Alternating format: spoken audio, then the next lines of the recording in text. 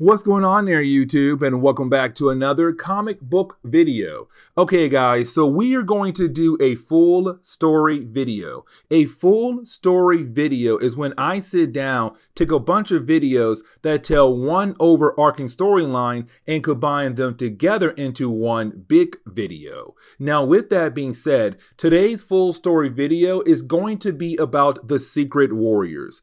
The Secret Warriors was a team made by Nick Fury Fury out of Secret Invasion because Nick Fury was on the run after Secret Wars because the man did break a few laws, but he still wanted to protect the world. And so, of course, he made the Secret Warriors team, a secret team to be used to protect the world. Now, when it came to the Secret Warrior storyline, well, Nick Fury found out that in reality, he never did run S.H.I.E.L.D., that in reality, S.H.I.E.L.D. was being controlled secretly by Hydra. And so, of course, Nick Fury this entire time was actually working for Hydra. And so the entire Secret Warrior series is really more of Nick Fury getting revenge on Hydra and trying to bring down Hydra, but also another shadow group out there as well that technically wants to get rid of Nick Fury, but also Hydra as well and take over the Earth.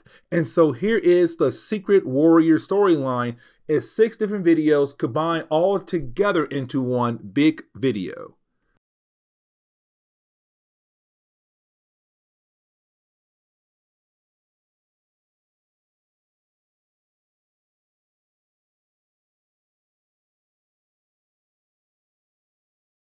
And the reason why, because after Secret War, yes, Secret War, not Secret Wars, with an at the of it, Secret War. It was a mini series that Marvel did back in like the early 2000s. It was a way to kind of remove Nick Fury from S.H.I.E.L.D. and give Iron Man, Maria Hill, and other characters the chance to actually lead S.H.I.E.L.D. in future books after Secret War. But of course, at the end of Secret War, you had Nick Fury just disappear. He's all like, listen, guys, I'm done playing on politics. You will never see me or hear from me ever again. I'm out of here. Bye later. And of course, he disappeared.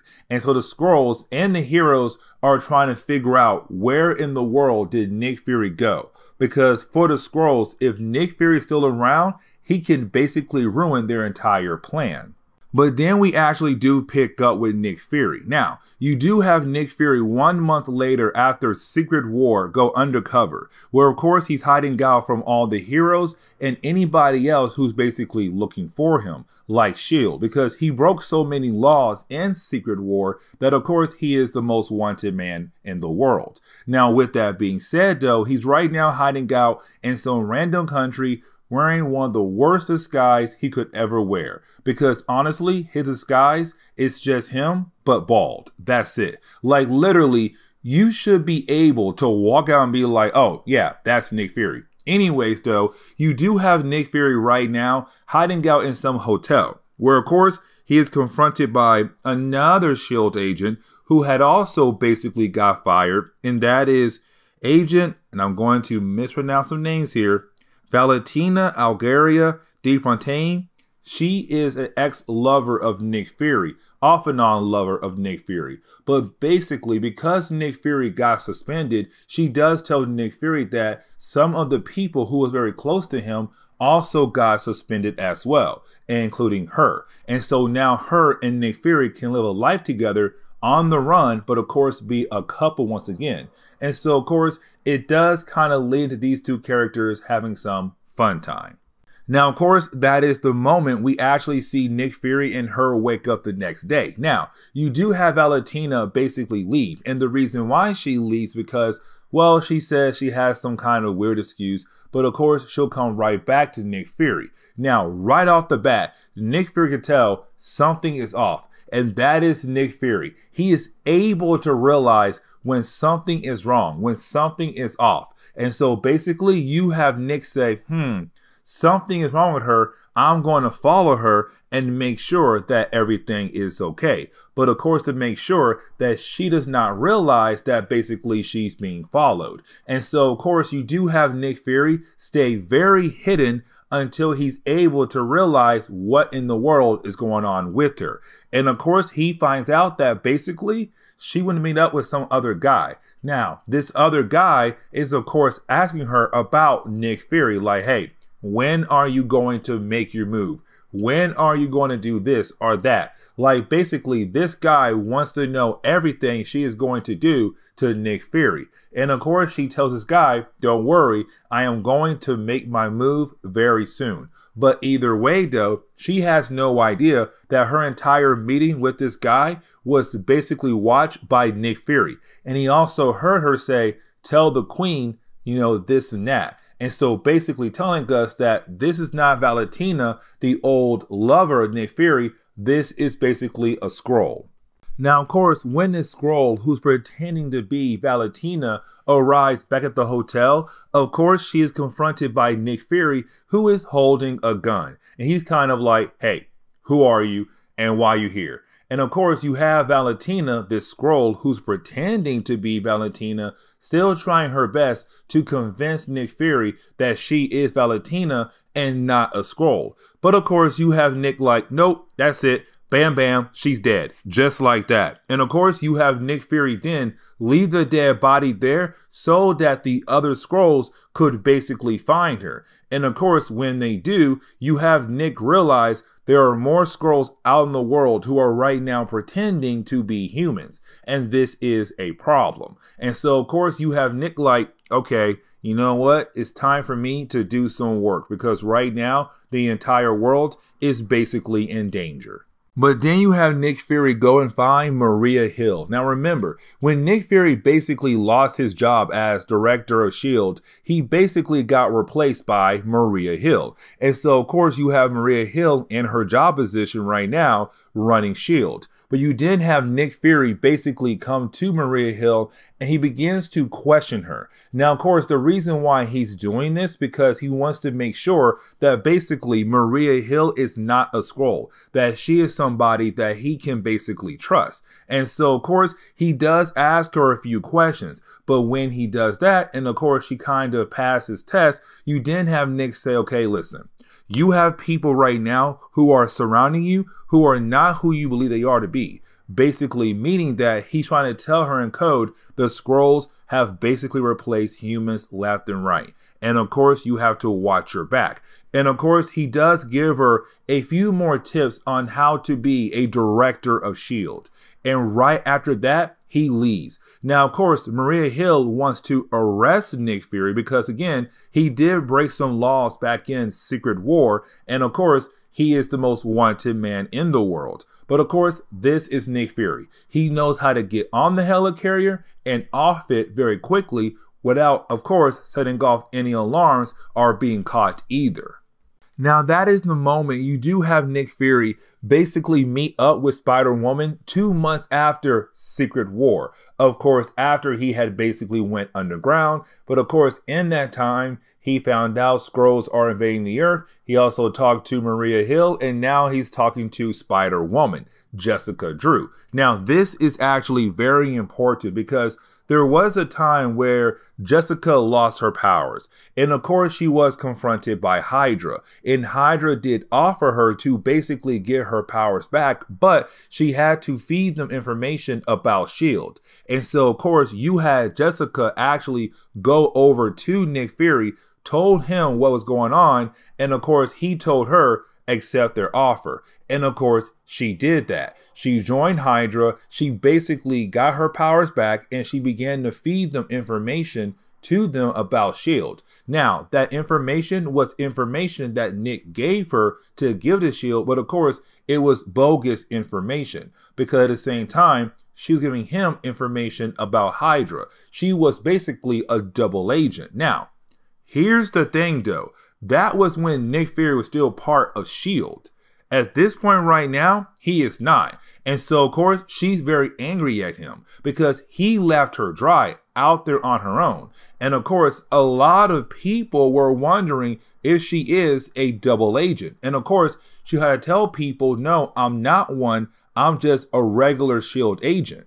but in reality, she was a double agent. But of course, when she sees Nick, she's angry. He's kind of like, listen, I know I left you out there by yourself, but hey, listen, something is going on. The Skrulls are basically right now invading the earth. They are replacing people and pretending to be the people that they are basically replacing. And so, of course, that is the problem. And so now you are no longer a double agent. You're now a triple agent.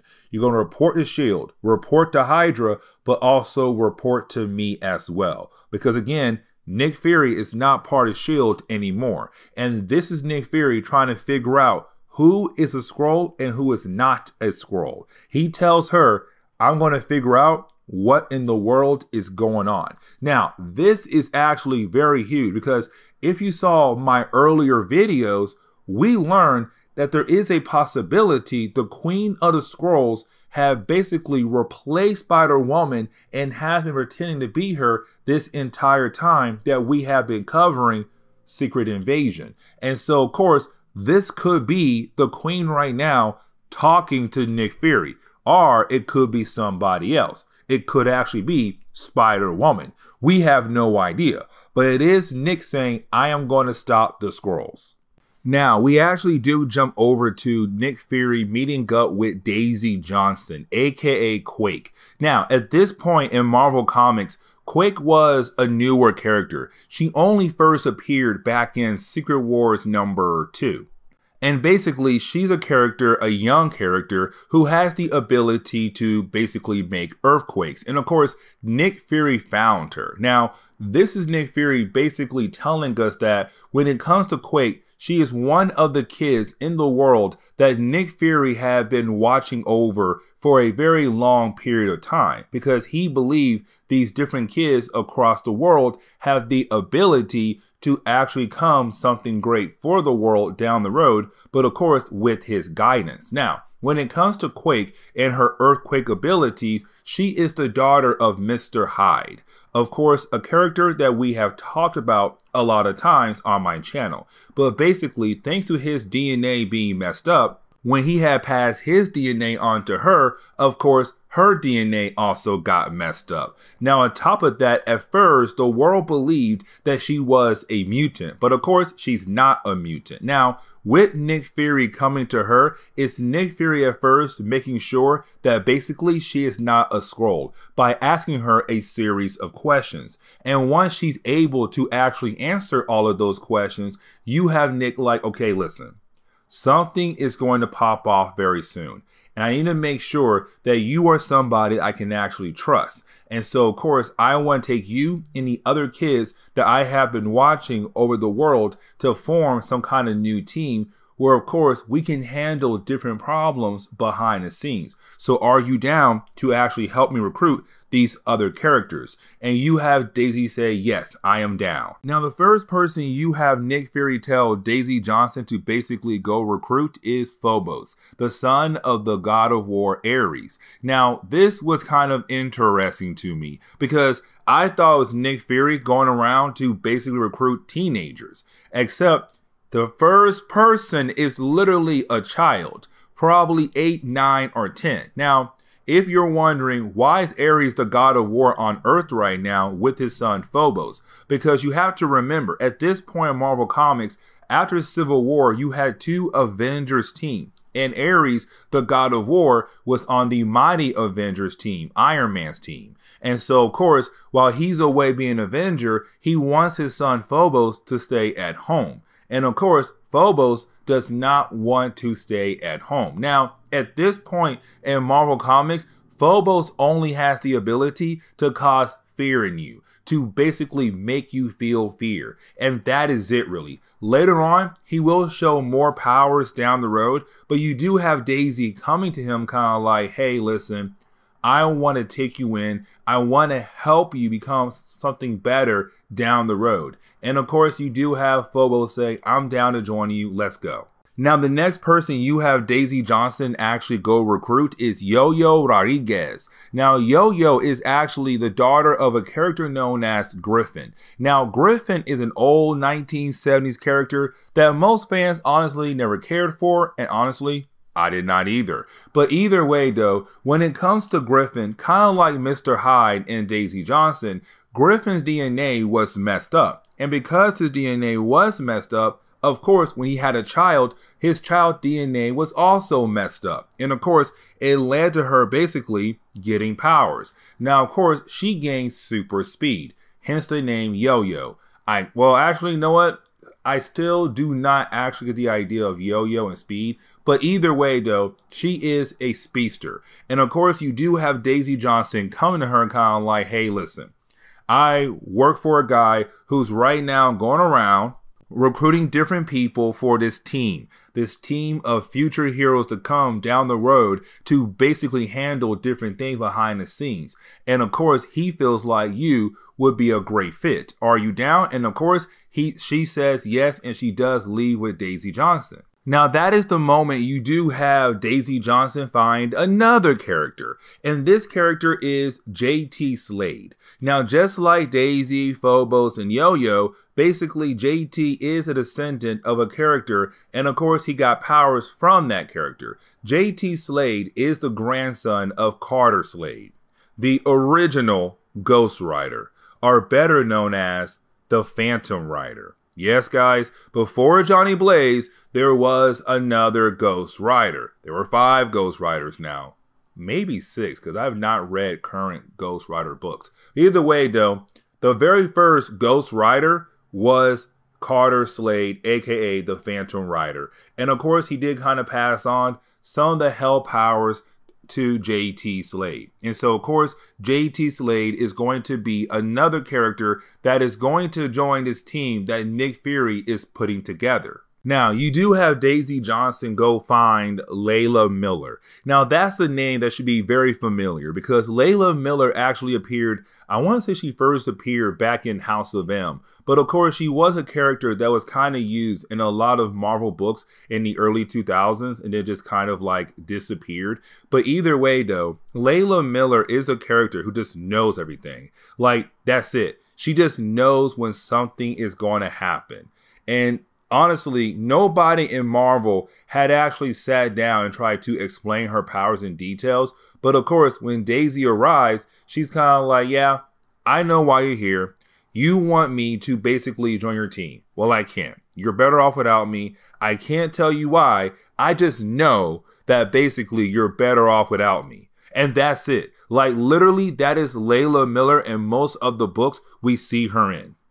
Now, the next character you see Daisy go recruit is Sebastian Druid. Now, Sebastian Druid is a character who believes right now that he has magical abilities. And so, of course, on his way, he's going to go see Doctor Strange to hopefully learn how to control his magical abilities. But of course, he's confronted by Daisy Johnson, where you have Daisy tell him, listen, your powers aren't really magical. That basically you are the son or the grandson of Dr. Druid, another Marvel character. But of course, your DNA is kind of messed up because you have part monster DNA inside of you. And so, of course, with that DNA, you're able to do different things. But of course, you think it's magic when reality, it's not magic. But this is Daisy saying, I'm also here to basically recruit you for something better down the road, to make you better, but to also make the earth better down the road. Now, the last character you do see uh, Daisy Johnson go recruit is basically a character known as Stonewall, but also known as Jerry Sledge. Jerry Sledge is the actual son of the Absorbing Man, a character that Thor and the Hulk have fought so many times over the years in Marvel Comics. But basically, he's the son of the Absorbing Man. And when it comes to Stonewall, he literally has the same abilities as his father. Where, of course, if he touches something, he's actually able to turn his body into that material that he basically touched. And so, of course, if he touched metal, he turns his body into metal. If he touches gold, his body turns to gold. But either way, though, you do have Daisy coming to him kind of like, hey, listen, I want to help you make yourself better. I want to give you the chance to make the earth better. Are you down to basically join me? And he's all like, yeah, I'm down. Let's go. And of course, he does leave with her. And of course, after all of that, you have Daisy bring all of them to Nick Fury's safe house, where of course they do meet Nick Fury. Now, when they do, you have Nick Fury kind of like, okay, guys, welcome to your new life. Like basically, your training begins now. Oh, on top of that, you have to make sure that you guys listen to every direction I give you because if you don't, you will basically die. And so, if you want to live, Listen to everything I have to tell you. Now, after all of that right there, you then have Nick say, Hey, do anyone here know what a Skrull is? And of course, we now know their first mission is to help take down the Skrulls. Because remember, guys, this storyline right here takes place kind of in the past before Secret Invasion. But either way, though, this is where we are going to end today's comic book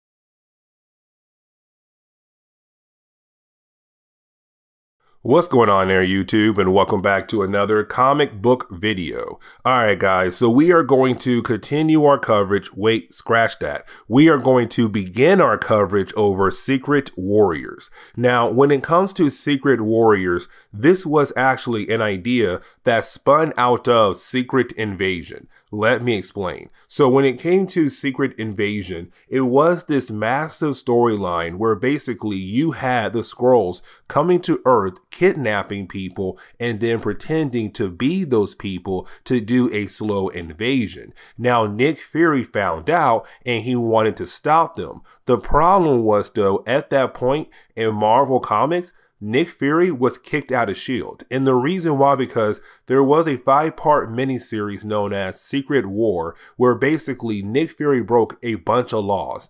And when he broke those laws, of course, he had to go undercover or underground so he could stay hidden from the rest of the world. Because if he was found, well, of course, he would be arrested. Now, when he found out about the Skrulls trying to take over the world, what he did was he created a team known as the Secret Warriors because these group of characters are characters he knew that he could actually trust.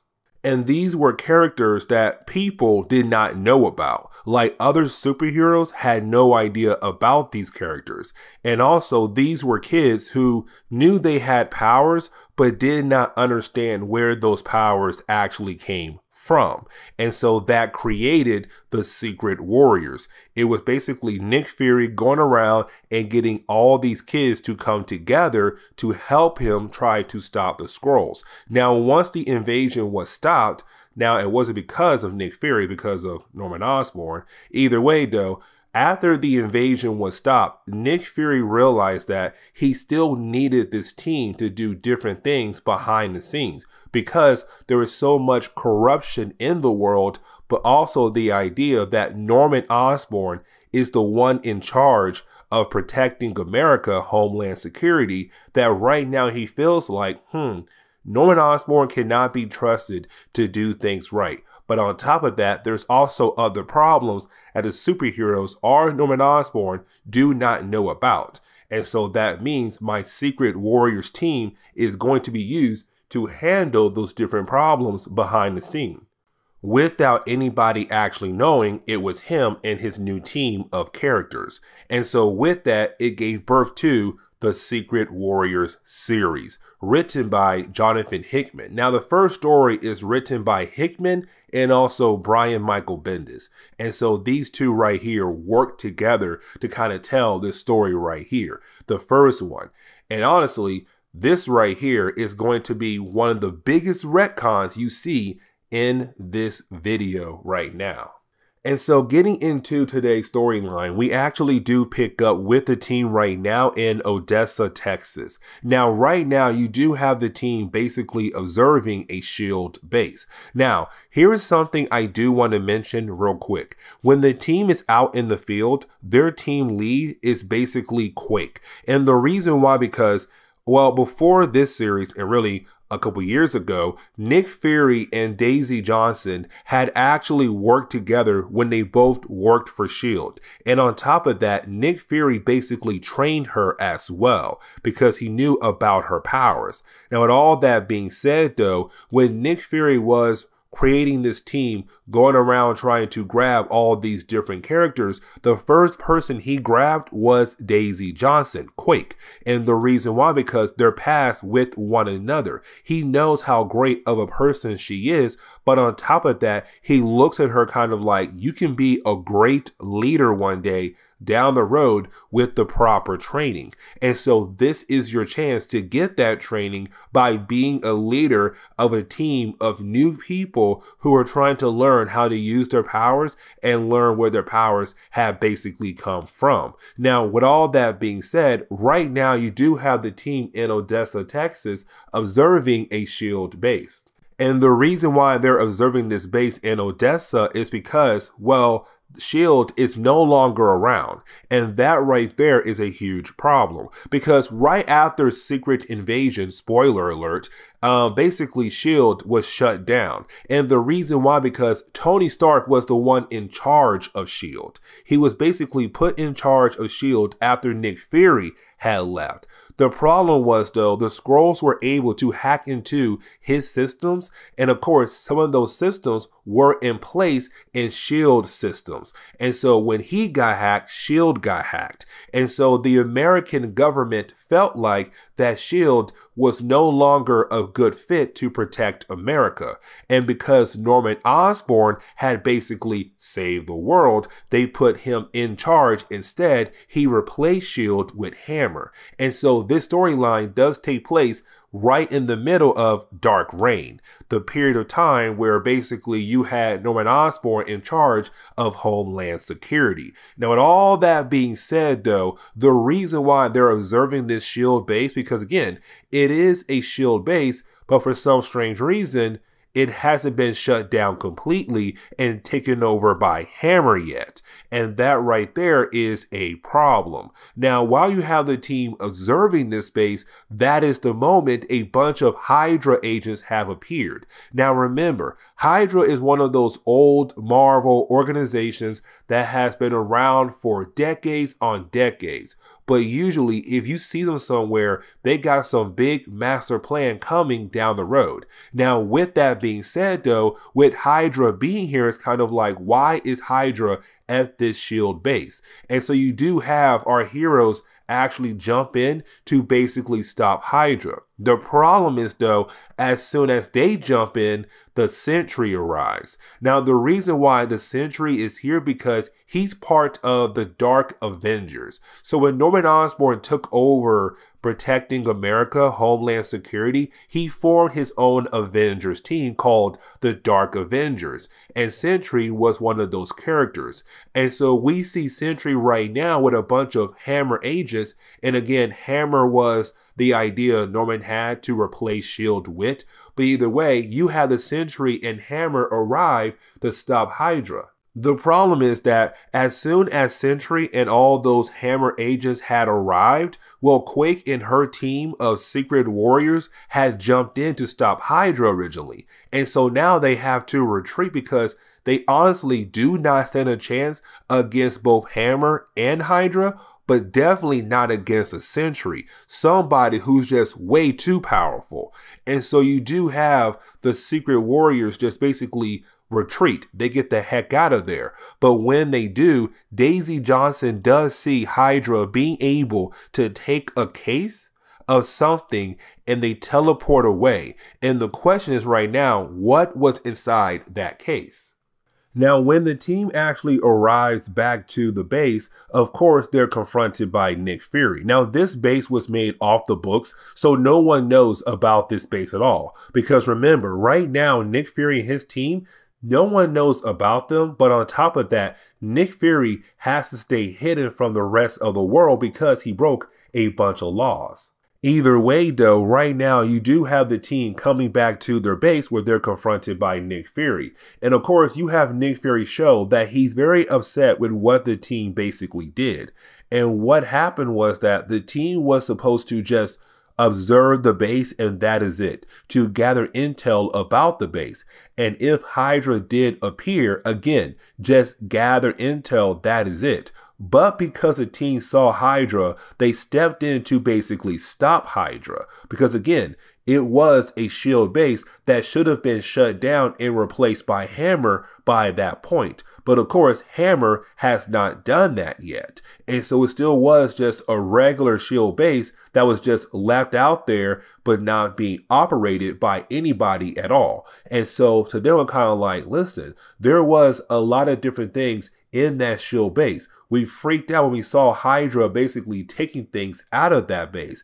And so it felt like to us the right move to basically step in. But it's Nick Fury saying, I wanted you guys to gather intel so that I can confirm something I had doubts about I learned about earlier in this year. And so it's kind of like if Nick had told them that, then maybe they would have done a better job. But because Nick did not tell them everything, it seems like, hey, we failed because you didn't actually tell us everything you wanted us to do. Now, JT Hellfire, he's very upset with how Nick Fury runs the team. He feels like Nick Fury needs to basically tell more information about these different kinds of missions before the team actually goes on those missions. But it's Nick Fury kind of like, no, I don't have to because again, I'm Nick Fury and you're just JT Hellfire, the son or the grandson of the original Ghost Rider. Who cares?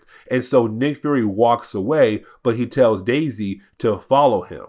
Now, you do have the two characters actually go and check up on Phobos. Now, Phobos is actually the son of Ares. Now, I do want to mention one thing. When it comes to Phobos, and I really hope I'm pronouncing the name correctly, but when it comes to Phobos, in Marvel Comics, there has been different versions of the character, but at this point in Marvel Comics, this is the actual son of the god of war, Ares. Now, with that being said, Nick Fury had also recruited this kid because no one knew about this kid at all. Like everyone knew about Ares, the god of war, but no one knew that this guy had a son named Phobos. Now, when it comes to Phobos, he does have a lot of different abilities, but at this moment right now, they're kind of showing off the idea of how smart he is. And so, with them being so smart, it will play a role down the road in later stories down the road, and so will the rest of his abilities as well. But Nick Fury wants to make sure that this god right here will grow up and be a great hero and not be like his father, Ares, the god of war. Even though right now, at this point, Ares is technically part of the Avengers, I want to say, or he was. I forgot. I want to say he was an Avenger until basically Norman Osborn took over. Either way, though, it's Nick Fury saying, like, we have to watch over this kid and hopefully train him in the correct way to make sure that he does not cause us problems down the road. But after that, you then have Nick Fury kind of explain why he was kind of upset with what Daisy Johnson and her team basically did in the field. Because again, he wanted them to just observe the shield base. That is it. Because again, he was trying to gather intel. But now it's Daisy Johnson realizing that something has spooked Nick Fury. And if something has spooked Nick Fury, that means right then and there, something really bad is going to happen down the road. Because Nick Fury is not somebody who gets easily spooked by anything at all in the universe. So if he gets spooked, that means something bad is about to happen or it already did happen. But then we actually pick up with Nick Fury one month ago. And right now, we actually see him in Chicago. Now, right now in Chicago, he's breaking into another base that's owned by S.H.I.E.L.D. Now, with that being said, of course, it seems like it's one of those bases that still operates as S.H.I.E.L.D., but hasn't fully been taken over by Hammer yet.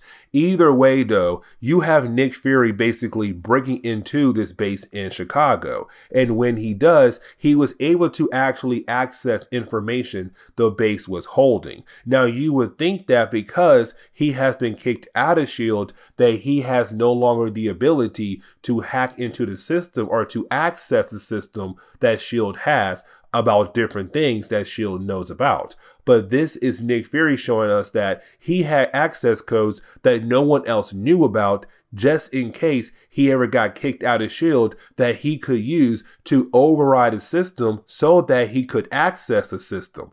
Either way, though, when he does access the system, he does download a bunch of information. And that information that he downloaded is going to be very important for this storyline. And so then we see Nick Fury actually breaking into the White House. Now, this actually happens two days prior from the present day, but 28 days after Chicago. Now, with all that being said, this is Nick Fury sitting down with the president for two things. The first is that it's Nick Fury wanting to know why in the world did the president let the government basically get rid of Shield and replace Shield with Hammer. And so you have the president tell Nick Fury that the reason why Shield was destroyed and replaced with Hammer is because the president and the American government wanted more control over some organization that was made to protect America. And when it came to Shield, they honestly did not have full control over Shield. But with Hammer, they can. Now, honestly, they really can't because it's Norman Osborn. He's a crazy bad guy. Either way, you did have Nick Fury basically say, okay, fine, whatever. But here's the thing though. I was the one who attacked that shield base in Chicago. It's Nick Fury telling the president about that moment. And the reason why, because that was one of the bases across America that no one really knew about except maybe Nick Fury and a handful of other people. But those bases should be shut down by now. And the reason why, because those bases are holding a lot of different things. But on top of that, those bases are very important for something else we're going to see down the road. And so this is Nick Fury saying, I have nine locations of bases that were basically kept off the book. Here is the list of those bases, and you need to basically shut down those bases before something else big happens in America. And so we actually do jump back over to Nick Fury and Daisy Johnson in the present day. And this is really Nick Fury explaining to Daisy what he's trying to tell her, what he's so spooked about. And what he is saying is that basically, when it comes to the idea of these bases across America, there are nine of them. And these nine bases should have been secured by now because these nine bases were originally kept off S.H.I.E.L.D. books. But either way, though, someone in S.H.I.E.L.D. knew about these nine bases. And so when Hammer took over S.H.I.E.L.D., that information should have gotten over to Hammer so that they could basically secure those bases. The problem is, though, Hammer did not know about all nine different bases. But here's the thing though, when Nick Fury broke into the base in Chicago, he was able to get that list of nine bases. And so when he went to the White House, he did give the president a list but he only gave two of the nine locations to the president. And the reason why, because he wants to make sure that the current administration in office right now can be trusted. And so he only gave him two of the nine for the time being. But with that being said, though, those two locations are very important because one of those locations were actually secured by Hammer, meaning that that base is cleared now by Hammer. The other base, though, was in Odessa, Texas, the ones that basically Quake and her team were at, and they were supposed to observe and not do anything else. And the reason why Nick Fury is saying these nine bases are very important because it ties back into Hydra. And so this is Nick Fury saying that Hydra was not attacking these bases. Hydra was not actually breaking into these bases. Hydra was going to these bases to basically take things they had already there, meaning that these nine shield bases across America were never actually shield. They were Hydra, which means that Hydra, for who knows how long, has been somewhat controlling shield this entire time. And so it's Nick Fury saying, technically, I have been working for the bad guys, without actually knowing I was working for the bad guys. And that is one of the biggest retcons we're seeing right now in Marvel Comics and in the storyline. Because now you're saying that S.H.I.E.L.D. had possibly never had just worked for the American government, but possibly has been working for Hydra in helping Hydra without even knowing they were helping Hydra out. And so, getting into the second issue, we actually pick up with the underwater city that's actually owned by Hydra. Yes, they do have an underwater city, just go with it. Either way, though, with this underwater city is right now being run by Baron von Strucker. Now, when it comes to Hydra, you usually have one leader for Hydra, but sometimes, occasionally, you have multiple leaders, and sometimes you have a civil war in the actual Hydra organization. Now, at this point right now, Baron von Strucker is kind of in charge of this city, or this particular group of Hydra, or this branch of Hydra. Either way, though, right now we're told that this section right here takes place three months in the past, but on top of that, it also takes place right in the middle of Secret Invasion. And that right there is actually very important. And the reason why, because when we actually pick up with Baron von Strucker, you do have some random agents of Hydra coming into his office to tell them the news, or tell him, sorry, about the news of what's happening right now across the world, where basically different operations or different organizations have been taken over by this alien race known as the Skrulls. But apparently, Hydra has been untouched meaning that no Skrull has been able to actually invade the Hydra organization, which right there tells Baron von Strucker that can't be true. And the reason why, because when it comes to the Skrulls, they're trying to invade the entire Earth. And you want to make sure that you have somebody in every single organization across the world to make sure that your invasion could actually be accomplish. And so, with that being said, it's Baron von Strucker realizing, hmm, these three agents are basically lying to me that they are actually Skrulls. And also, he has a way to know that they are Skrulls. And so he tells them, I know that you are Skrulls. I know that basically right now you're here to take me out, to replace me, and then use Hydra for your own personal needs. I am not going to actually let that happen. And so you have Baron von Strucker kill off these Skrulls that were pretending to be Hydra agents, and then he blows up the entire underwater city base. The entire city. He even says there was probably 10,000 folks down there of Hydra agents, but I had no choice because I had no idea how many Skrulls have replaced my agents. But to make sure that basically they are dead and there's no one else in there to betray me, I blew up the entire underwater city. Gone just like that. Because it was him realizing that the Skrulls have begun the process of actually taking over everything across the world. And so, getting back over to the present day and actually picking up with Daisy Johnson and Nick Fury, this is basically Nick Fury telling Daisy Johnson, yes, what I just told you is the truth. That in reality, this entire time when I was working for S.H.I.E.L.D., our S.H.I.E.L.D. has been around, Hydra was secretly controlling S.H.I.E.L.D., which means that every single time Nick Fury or anybody who had a connection to S.H.I.E.L.D. was actually stopping Hydra, they weren't really actually stopping Hydra. It was part of Hydra's plan to pretend that they were basically being stopped. But in reality, it was just another way for them to continue on with their master plans to control the entire world. And so it's Nick Fury saying that this entire time we have been helping them and not actually stopping them. And so now we have to change that. We need to wake up, meaning that we need to tell Hydra that we know what they have been doing.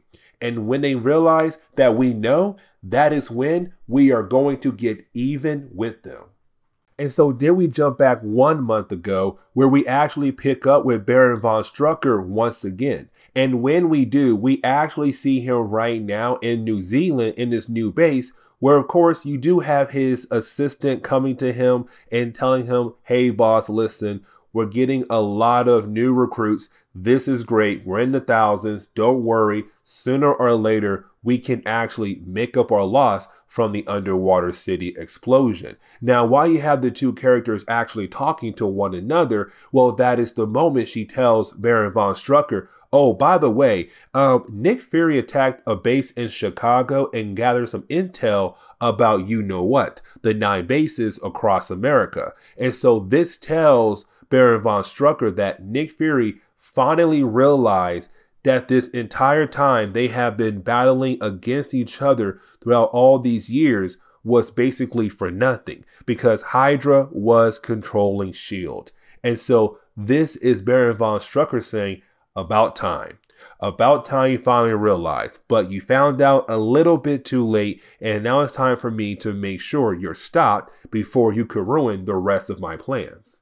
Now, getting back into the present day, we actually do pick up with Daisy Johnson meeting up with the rest of the team. Now, when she does, of course, she's telling the team, hey guys, listen, we just got our next mission. Like basically the boss want us to wrap up dinner, get back to base and get ready for our next mission, which right now we have to handle. Now remember guys, earlier we saw JT Hellfire kind of not liking the idea of being bossed around by Nick Fury. And so he feels like Nick Fury needs to kind of open up more and actually be a better boss than he is right now. Either way, you do have most of the characters kind of ignore him completely. Now, this is also the section where you have Phobos actually tell everybody their possible future to come down the road because that's one of his powers where he could see a possible future. It doesn't mean it's actually going to happen, but it could possibly happen.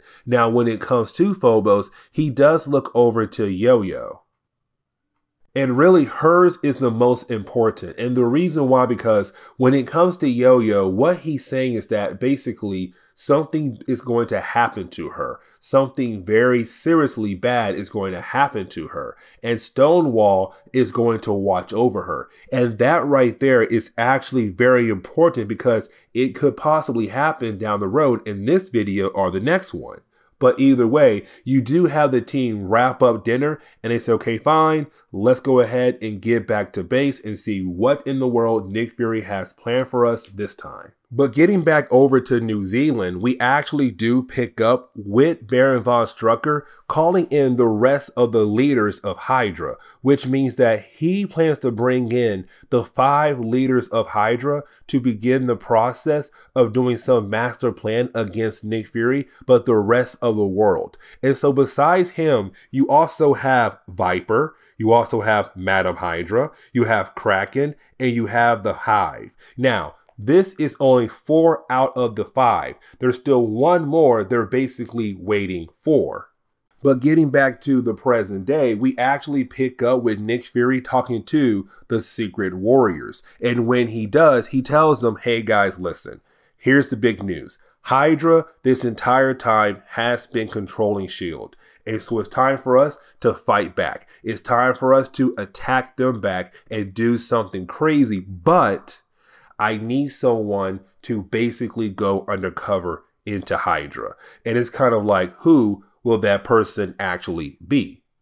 And so then we jump two days in the past. Now, when we do, we actually pick up with the Temple of Resurrection. And this actually belongs to the Hand. Now, remember, the Hand is basically this ninja organization that's evil, really, but also has their hand, no pun intended, into different kinds of operations and organizations across the world. Now, with that being said, though, they also worship a demon as their god. Now, here comes the thing. The Hand and Hydra are right now talking about a deal. And this makes sense because if you have been following our Secret Invasion coverage, we basically saw that when Elektra was replaced by a Skrull, that Skrull Elektra was trying to actually regain control of the Hand away from Hydra. but we saw that she was able to but it seems like some parts of the hand was still being controlled by Hydra. And so when we actually pick up with this section right here, we see that this group may be still controlled by Hydra. And right now is Hydra saying, listen, we had a deal that sooner or later we want you guys to bring somebody back to life. And right now, we're ready because we went to our base in Odessa, Texas, and we took that container that was basically holding the dead body of our fifth leader of Hydra. And so you have the hand use their dark magic to bring this person back to life. And we come to find out it is Gorgon.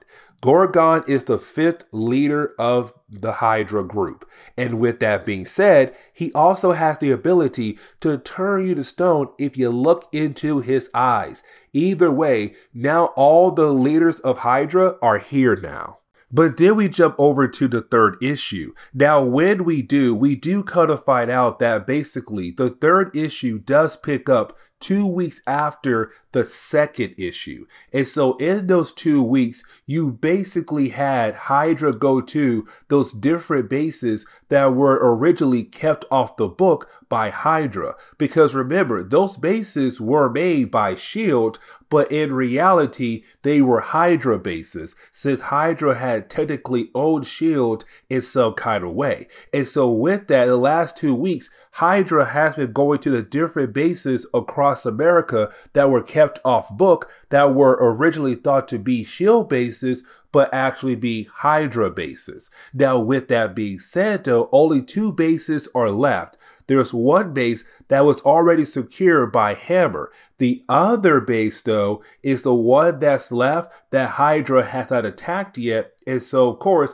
right now you have Nick Fury and Daisy saying, the Secret Warriors are going to the last base that Hydra has basically not attacked yet and try to recover their lost items. On top of that, this is the moment you have the Secret Warriors kind of learn about the different leaders of Hydra except Gorgon. Because even though he was brought back to life, they have no intel or the idea that he's also on the list right now as leaders of Hydra.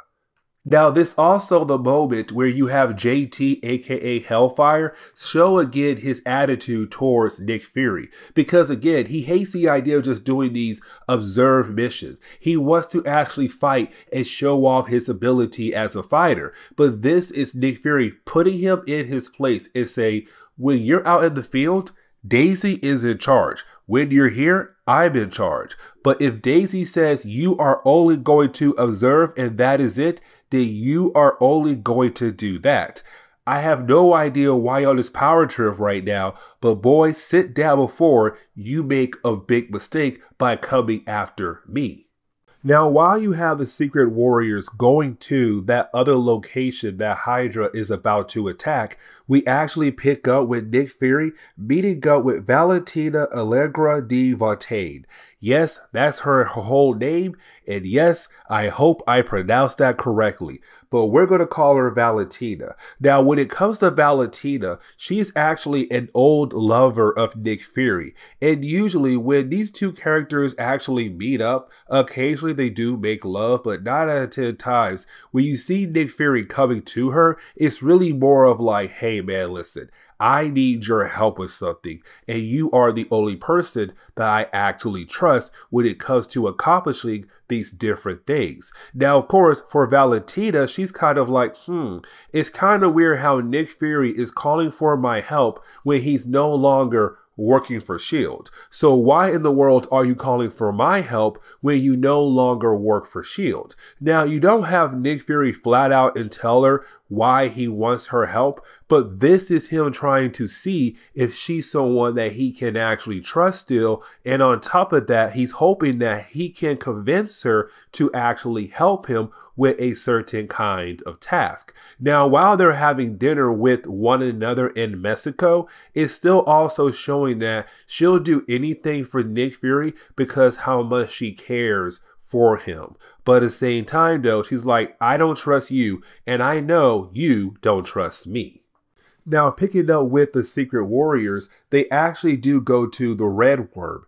And the Red Worm is actually the last base that hasn't been touched by Hydra. Or, well, that's what they believe. Because when the Secret Warriors actually arrive at that location, they do see that Hydra is already there. And of course, these agents are with Gorgon. And this does tell the Secret Warriors that basically, hey, this is possibly the last leader of the Hydra group. Now they have their five leaders. What are they planning to do? Now you do have the Secret Warriors kind of observing again, try to see what Hydra is planning to do. Now Hydra had already took some shield agents that were still there at that facility and begin the process of actually killing them off. Now when they do that, of course, you do have the Secret Warriors say, okay, we have to jump in and save those people. And so it does lead into a battle between the Secret Warriors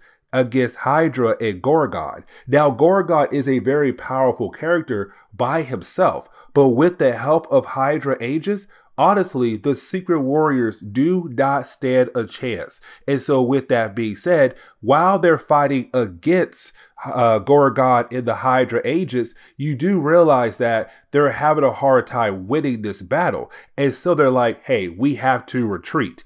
And so they try to use Yo Yo as a way to kind of basically help with the escape process. And remember, when it comes to Yo Yo, she has super speed, but you also have to remember that she was told earlier by Phobos that there is a possibility something seriously bad is going to happen to her. And it does right here. Because when she tries to attack Gorgon to help the others to get away, he basically cuts her so bad she loses both of her arms. She flies away and crash. They're all like, oh my God, she's seriously injured. We have to escape right now. Now, you do have Phobos being this god try to actually stand up against Gorgon, but this is Daisy reminding the little boy they have to leave because one of their own just got cut really bad. And honestly, they need to get her out of here to basically get her somewhere for some medical help. And so they all leave. But when they all leave, you did have Gorgon tell Phobos that sooner or later he is going to kill a god, meaning that he's coming after Gorgon. Now, of course, with her getting seriously injured, they do realize that they have to take her somewhere so that she'll find or get some medical help which you do have Nick Fury say he does have a base somewhere where basically he does have some robots that will be able to actually help Yo Yo and give her some medical help. But after they're able to get to that location, you have Nick Fury pull Daisy to the side and say the Secret Warriors are basically bench. He's all like, listen, until Yo Yo is back on her feet right now, you have to find your replacement. And so your next goal is to find your replacement. Now, for Daisy, she's kind of like, what about Hydra? We're on Hydra case right now. I should continue to be working on that. But this is Nick Fury saying, no, your bench. I'll handle Hydra. And so this is Nick Fury saying, I'm going to call in another team to actually help out with this situation with Hydra. And so he calls up Dum Dum Dugan. And he's all like, hey, man, listen, it's time for us to get the team together. But getting into the fourth chapter, we actually do pick up with Daisy Johnson, Quake, and also Druid right now in Australia. Now they flew there, but the problem is though, Druid crashed a plane. And so they have to walk the rest of the way to the location that they're trying to get to. And of course, they're trying to recruit somebody to replace Yo Yo. Now, this character that they are trying to replace has the ability to teleport almost anywhere across the universe thanks to his ability to warp reality in a way to teleport him and anybody else around him to a specific location. Either way, though, right now they're going to basically recruit Manifold. And this is actually very important because if you saw my videos over Avengers and New Avengers by Jonathan Hickman, you know that Manifold is a very important character in that series. And so right now, this is Hickman beginning to do the work on the character to build him up so that he'll be used in later books down the road. But at first, he's like, oh, so I know that you guys are here to recruit me, but I might have to say no. But then we pick up with Nick Fury. But this actually brings in the idea of the Howling Commandos because Nick Fury is going to make a new version of the Howling Commandos. Now, the Howling Commandos were basically a military group that was sent on different missions by the military to basically deal with different things happening across the world that could affect America. Now, when it comes to the Howling Commandos, they were led by Nick Fury, but we were told that that this team has been around for decades on decades on decades, but been led by Nick Fury. And of course, that does bring into question if this team been around for so long, how come Nick Fury is not old or super old to the point where he can barely walk? Why he looks so young? Well, thanks to the Infinity Formula. Thanks to that formula, it basically slowed down Nick Fury's aging process. And because he took that formula over and over and over again throughout a good amount of years, well, of course, it definitely slowed down his aging process. And so that is how he's still around right now, but still looks somewhat young and being able to actually function in today's society. Now, with that being said, though, this is him trying to bring back the Howling Commandos, but in a different kind of way. But then we actually pick up with JT and also Phobos. Now, right now, you have JT and Phobos kind of looking around the office of Nick Fury to basically find different things that Nick Fury is hiding from them. But on top of that, hoping that they'll be able to get some information on what's really happening with Nick Fury in this Hydra situation. Now, while the two characters are looking around, of course, they do find a hidden passageway. And when they do, of course, they walk into a room, and that room they find a bunch of life model decoys. Now, these life model decoys are basically robots, but they look so real that if someone actually used one of them, you believe it's the actual person. But in reality, it's just a robot. And Nick Fury is known to using a lot of life model decoys as a way to make sure that he's not trapped in some kind of situation. And nine out of 10 times, people actually believe that they are talking to Nick Fury, but in reality, it's never Nick Fury. And so they're kind of like, what in the world is going on here? Now, getting back over to Nick Fury in the Howling Commandos, you do have Dum Dum Dugan and some other members of the Howling Commandos tell them what is their current situation because most of the members of the Howling Commandos were part of S.H.I.E.L.D. because Nick Fury was part of S.H.I.E.L.D. But when S.H.I.E.L.D. basically got taken down and replaced by Hammer, most of the Howling Commandos said, fine, forget it we're going to jump ship as well and continue to be the Howling Commandos, but not be part of S.H.I.E.L.D. nor Hammer. We're just contractors now for different kinds of missions across the world. But this is Nick Fury saying he needs the Howling Commandos to kind of deal with the Hydra problem. Now, here's the thing though you do have Dum Dum Dugan say, listen, when it comes to the Howling Commandos Corporation or this organization we're trying to build, our army is small. And the reason why, because right now, most of the men they had originally who were part of S.H.I.E.L.D., well, they joined Hammer because they still needed some kind of salary. And so it's dumb, dumb Dum Dugan say, listen, we do have a small army here. And most of these men, like us, did not want to join Hammer. And so they left Shield, they left Hammer, and joined us here for the Howling Commandos Corporation. But when it comes to some men we used to have, those men had no choice but to join Hammer because they needed money to take care of their family, their wife and kids. And so this is Nick Fury kind of like, okay, you're telling me you have a small army, you have a small base. We can still work with this as a way to attack Hydra to get back at them for all the years for playing with us and pretending that they had no control over S.H.I.E.L.D., but in reality, they did. But then we pick up with uh, Daisy Johnson, aka Quake, and Druid. And of course, right now they're trying to convince uh, Manifold to basically join them and become a new member of the Secret Warriors. Now, at first, he does say no. And the reason why, because another character known as Gateway, who has the ability to also teleport, tells Manifold, no, you are not ready. Well, originally, he told him no before Daisy Johnson and um, the Druid arrived to try to basically recruit Manifold. But then you have Gateway say, no, you can join her team. Now, this is actually very important because this is Gateway telling Manifold, I told you no, you can't join Nick Fury's team, but you can join her team. And so it's kind of like, wait, what do you mean Nick Fury's team? but he can join my team. Does Nick Fury have another team out there that we don't know about? And so Gateway's kind of like, uh, I can't tell you, but you can take Manifold. He can join your little team right now if he wants to. And of course, you do have Manifold say yes, he's down to join this team.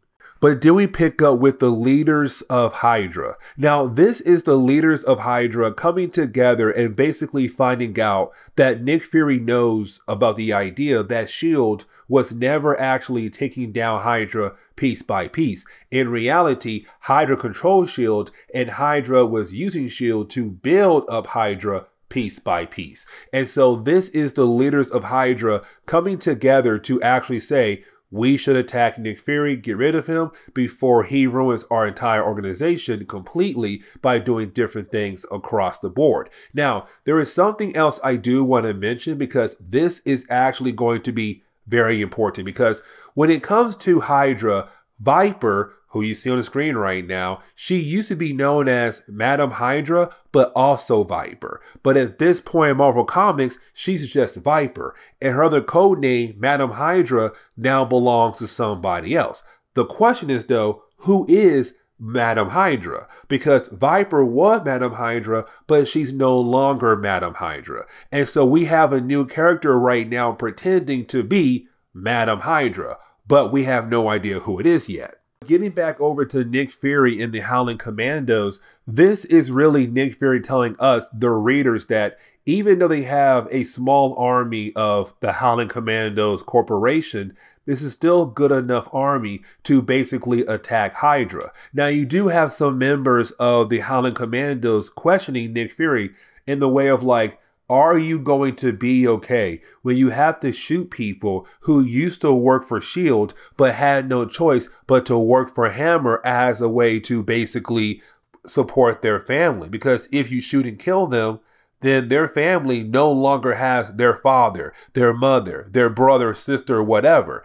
But for Nick Fury, it's kind of like, listen, I am not going to have any kind of hard feelings when I kill someone off to basically help with this mission we are going to attack Hydra and their base and hopefully do some damage to Hydra. But at the same time, if some of our own men get in the way because they had no choice to join Hammer or to join Hydra, honestly, I cannot feel bad for them. And so this is Nick Fury saying, let's go. We're going to attack Hydra where it actually hurts.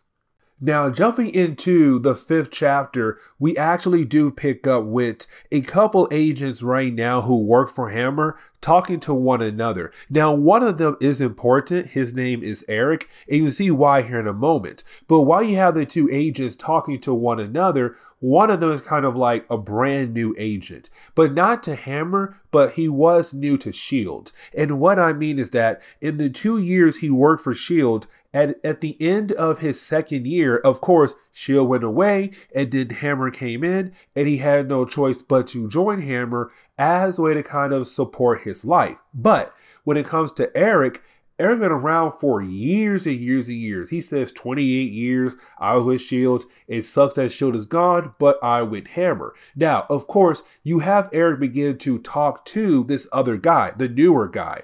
And while they're talking, you basically have this guy kind of try to give away a hint like you should probably go somewhere rather than be here. And the reason why, because Eric is one of the Howling Commandos who's working for Nick Fury. And so by the time the newer guy finds out, he looks up to the sky and see a bunch of helicopters coming in at a very fast pace. And he's like, hey, uh, what are those? We need to call that in. And bam, he's shot from behind by Eric because, again, Eric is part of the Howling Commandos. And the helicopters that are coming in right now are, of course, Nick Fury and the rest of the Howling Commandos militia.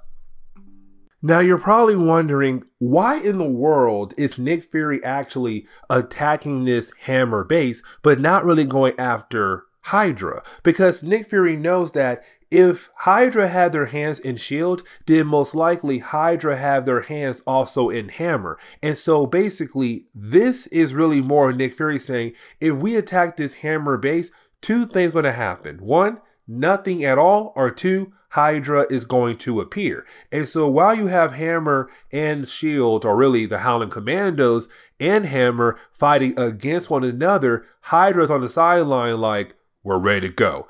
Everybody is in position. And I just realized that all three organizations who's going to fight in this battle all start with H. Hammer, Hydra, and Howling Commandos. Either way, though, you do have all three team members or all three teams about to fight against one another. But then we pick up with the generals of Hydra 13 hours ago. Now, this is the moment where we actually learn that when it comes to the generals, they actually heard from somebody, an inside source from the Howling Commandos, that Nick Fury was actually going to attack Hammer base. Now, this is the perfect time for Hydra to actually attack Nick Fury in the Howling Commandos because Hydra knows that if they want to go ahead and finish this battle against Nick Fury, they have to do it now. Because if they allow him to live, it's going to be a long war. And if this war goes on, Nick Fury is going to win. And when he does win, it's all over for basically Hydra. And so this is Hydra saying, release the Horde so that we can basically go ahead and wrap up this battle here and now. And so, getting back to the present day, we actually do pick up with the battle between Hydra, Hammer, and also the Howling Commandos. Now, this battle does go on for a good while. And matter of fact, with this battling going on, you do have a lot of sides basically losing a lot of men and women. Now, as the battle does continue on, you do have Nick Fury actually look over to Gorgon. Now, when he does, he's all like, ooh, Gorgon's here. I hate him, he hates me. Now, Gorgon wants to actually kill off Nick Fury, but of course he fails when he tries to kill Nick Fury. But as the battle goes on, Nick Fury is actually trapped by Kraken and Baron von Strucker. And it does look like there is a possibility that Nick Fury is about to die. The problem is, though, and really it's a problem for Hydra, not Nick Fury, that while you have Hydra thinking they're about to win the battle between Hydra, Hammer, and also Howling Commandos, that is the moment you do have the Secret Warriors arrive in time to actually help out the Howling Commandos defeat Hydra. But then we actually jump back a couple hours ago and we actually pick up with the Secret Warriors. And we see how they were basically called in to actually deal with this situation. Because when it comes to the Secret Warriors, they're telling us that while they were at the base just chilling and minding their business, well, that was the moment they got a call from Nick Fury saying, hey, we need your help. Like the panic button for Nick Fury is saying he needs help and you guys need to get there right now to basically help him out. Now, this does confuse the Secret Warriors. And the reason why, because when it comes to the Secret Warriors, they thought they were benched. Matter of fact, Nick Fury said, You guys are basically benched. And the reason why, because y'all need to basically train your team while I deal with Hydra with the Howling Commandos. But now it seems like he does need help, and he they, they're like, Hey, we gotta go. Let's go help him right now. Now, when it comes to the battle, the battle does turn into the favor of the Howling Commandos and also Secret Warriors because now Hydra has to deal with two different groups, and the Secret Warriors are a group of characters who basically have some powers on them that could do some heavy damage. And so, right now, is Hydra actually losing this battle? But here comes the thing though some of the leaders are not actually here when it comes to Hydra. Madam Hydra and Viper are both missing. And the question is right now, where are they? because we kind of find out that right now they are in Japan. Now, the reason why they're in Japan because right now they're making the deal with the Silver Samurai and his clan. Now, when it comes to the Silver Samurai, his clan is one of the most powerful families in Japan. But on top of that, Silver Samurai has a long time connection with Viper. Even when she was Madam Hydra, they still had a long time connection. But this is where we kind of find out why Viper was so close to Silver Samurai. And the reason why? Because she basically needed some kind of box from him. And so now she has the box. She's kind of like, listen, this entire time where it seemed like I may liked you and you liked me, we could have been a couple. You need to realize I basically used you because I wanted this box. Now, we have no idea what's inside the box, but this is her really telling him that is the reason why I actually came to you for. And so they leave. Now, getting back over to the battle between the Howling Commandos, Hydra, and also Hammer, we kind of find out that basically Hammer had gave up. Hydra also gave up. Howling Commandos and the Secret Warriors won the battle and they can see another day. Now, as soon as they won the battle, this is where we kind of learn what Nick Fury was trying to do with this battle. He was trying to do a number to Hydra by basically taking out some of their agents, but also beating up on their leaders. But at the same time, now you have 3,000 men who used to work for Hammer, have quit Hammer, and now going to work for the Howling Commandos militia. And so now the Howling Commandos military has been built up even more. And so now their numbers have even gotten better. And right there is a very important piece of information. And so you do have the Secret Warriors, the Howling Commandos, and also uh, Nick Fury, they all go back to their separate ways. But this is Nick Fury telling Dum Dum Dugan, the Howling Commandos militia, the numbers need to be higher, which means you need to recruit more people. And we need to gather more money to basically pay these guys. But what we're doing right now can actually help us down the road. So this is a good start. But then one day later, we actually pick up with Nick Fury and also Quake talking to one another about the button. Because remember, she got a call earlier that Nick Fury needed help. And so she thought it was Nick Fury calling for help. We kind of find out Nick Fury never called for help. Matter of fact, someone else hit the button. And the question is, though, who hit the button? Now, Nick Fury kind of gives her the idea that he does know who hit the button, but he's not going to tell her who he believes who hit the button. And so we're left to wonder who actually did hit the button. Now, as Quake leaves the office, you do have Nick Fury get a call, and that call is actually from Angelina. Now, this comes into a very huge, shocking moment. And the reason why it's such a huge, shocking moment is because we kind of find out that the new Madam Hydra is actually Angelina. And she's right now holding the box that Silver Samurai gave her and Viper earlier. And so now we know that Angelina had joined Hydra, but she's telling Nick Fury that she has not been bad enough just yet, meaning that she plans to do something else down the road. The question is, though, what?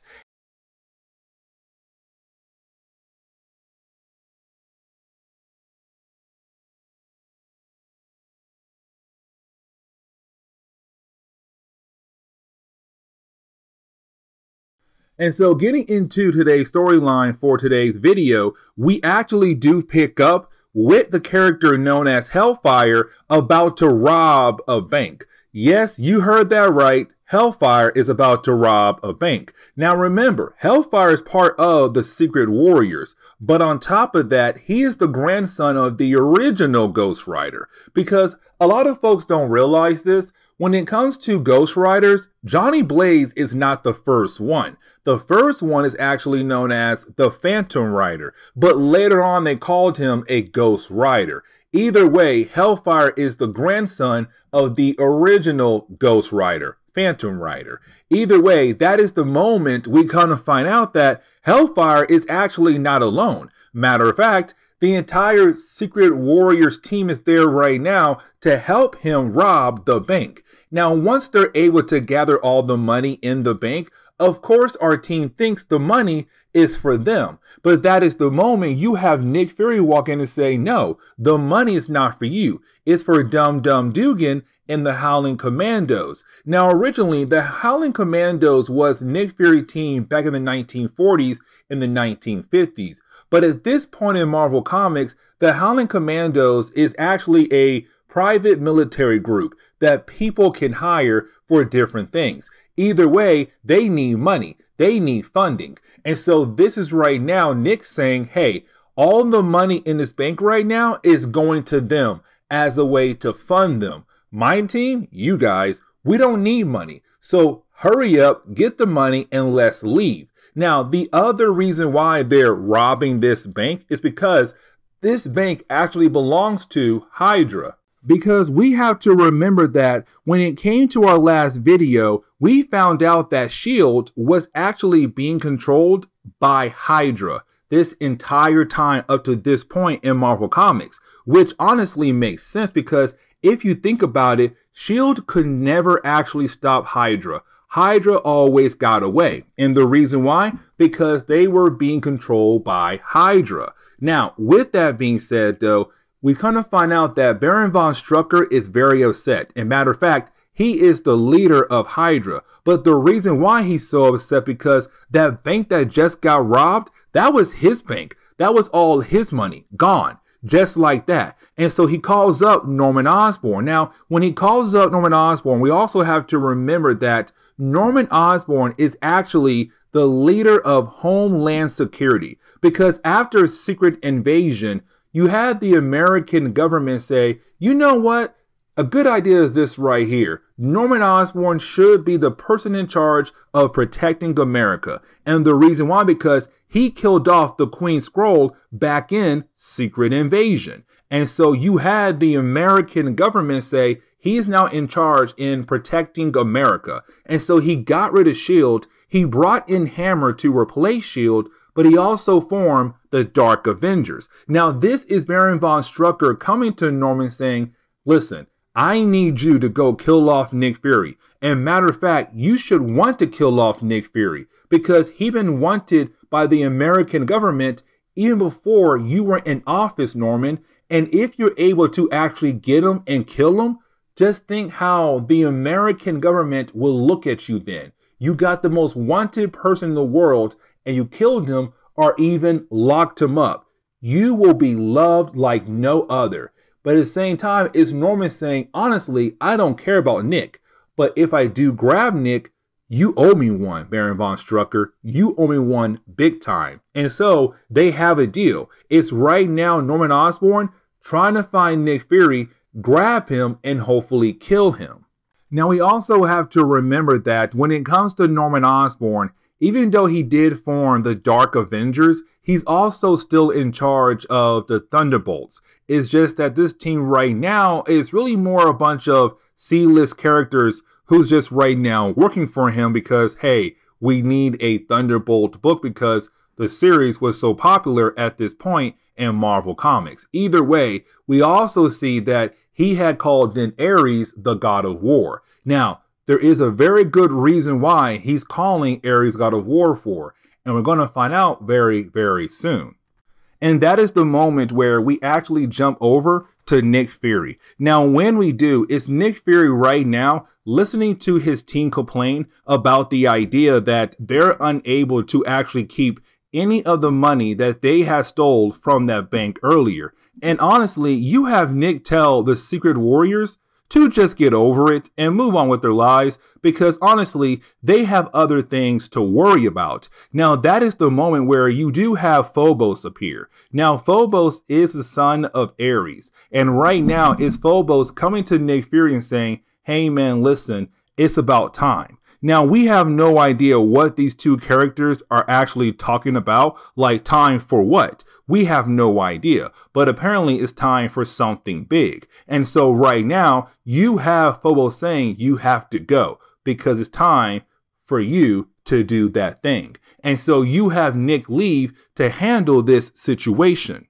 But after Nick Fury leaves, later on that night, we actually do pick up with Hellfire and Phobos right now watching the monitors to make sure that if any kind of alert pops up, they have to go inform the rest of the team. Now, while the two characters are watching the monitors, that is the moment an alert does pop up. And you do have our two characters right now check to see what that alert is all about. And then come to find out the alert came from Black Widow. Now, this section right here, it ties into what's happening right now at this point in Marvel Comics over in the Thunderbolts book. Because at this same moment right now in Thunderbolts, you have Songbird fighting against the Thunderbolts. But of course, she got her butt kicked, and Black Widow had to blow her cover to save Songbird, and they're trying to get away from the Thunderbolts, who are right now trying to arrest Black Widow, but also arrest Songbird. And so right now, it's Black Widow sending help over to Nick Fury, saying, Hey, Nick, I need your help right now. I'm on the run. The problem is, though, Nick is not here. Right now, you have Hellfire and Phobos answering the call. And so you have Phobos say, you know what? We don't need Nick. This is something we can actually handle. And so you do have Phobos and Hellfire say, let's go save the Black Widow and Songbird. Now, that is the moment where we actually do pick up with Nick Fury. Now, when we do pick up with Nick Fury right now, we actually do see him right now about to pay a visit to someone very important. And this right here is going to begin a new storyline that Jonathan Hickman is going to carry over to the rest of the entire series of Secret Warriors. But we kind of find out that right now you have Nick Fury meeting up with Jonathan Garrett. Now, Jonathan Garrett is actually an old character who appeared back in Elektra Assassin number 2, and he was created by Frank Miller. But like I said, when it comes to this character right here and other things happening after this book right here, it's all going to tie together by Jonathan Hickman. But right now, it's Nick Fury calling in Jonathan Garrett for a special mission. Now, you can tell right off the bat that Jonathan Garrett is technically mostly a cyborg than human because back in the Elektra storyline, he was badly injured but he was found by S.H.I.E.L.D., and S.H.I.E.L.D. gave him cybernetic parts, and that's why he is a cyborg technically. Either way, right now, it's Nick saying you and I are going to work together to hunt someone down, very important. But getting back over to Black Widow and Songbird, right now, you do have the two characters trying to get away from the Thunderbolts because, again, over in the Thunderbolt series, where the storyline is also taking place in, you had Songbird actually attack the Thunderbolts. And of course, Black Widow had save her, and so right now, these two characters are on the run while being chased by the Thunderbolts. And so, like in that storyline right there, in this one as well, they do go over to a secret shield base underneath some kind of football, baseball stadium. Either way, it is a hidden shield base. And when they arrive, they are confronted by Nick Fury. Now, like in that story there, though, Nick Fury told them, You made a mistake coming here because this area is actually not clear at all. And that is the moment you had the Thunderbolts blow the door down and say, Hey, we found your base and we're here to capture you. And so, getting into the second chapter for today's video, we actually do pick up right now with the Thunderbolts being able to actually capture Nick Fury, Black Widow, and Songbird. Now, with that being said, though, if you saw my video for the same storyline, but of course for the Thunderbolt side, you know what's about to happen next because that is the moment where you have Norman Osborn walk in. Now, you also probably wondering how in the world do we have two Nick Furies at the same time and two different locations? Because we have one Nick Fury right now who's technically recruiting Jonathan Garrett. And we have this other Nick Fury right now who's been captured by the Thunderbolts. What in the world is going on? Well, you're going to see here in a moment. But if you saw my video when it came to the Thunderbolt side of the story, you know what's about to happen next. Because remember, once you have Songbird and Black Widow moved, to a different part of the base to be interrogated by the Thunderbolts, you have Nick Fury be confronted by Norman Osborn. Because let's not forget, earlier in the story, he was actually hired by Baron von Strucker to find Nick Fury and to kill off Nick Fury because Nick has been ruining a lot of different operations for Hydra. And of course, you know what comes next. You have Nick shoot Nick Fury right in the head. Now, that was huge over in the Thunderbolts book, but we come to find out that was never actually Nick Fury at all. And you're probably wondering, okay, did he use a life model decoy? Now, if you're new to Marvel Comics and you have no idea what life model decoys are, let me explain. So, life model decoys are just robots that look so real that no one can tell it's actually a robot. And so, a lot of times, you have Nick Fury use a life model decoy as a way to take his place in different kinds of situations where he feels like he may be in danger. And so, right now, you would think that this would be a life model decoy. But the thing is, it's not. Because once the robot body opens up, you have Phobos in there. And when he comes out, he came here to meet his father because Ares, the god of war, was there as well. Now, if you read the Thunderbolts book, Ares was not there.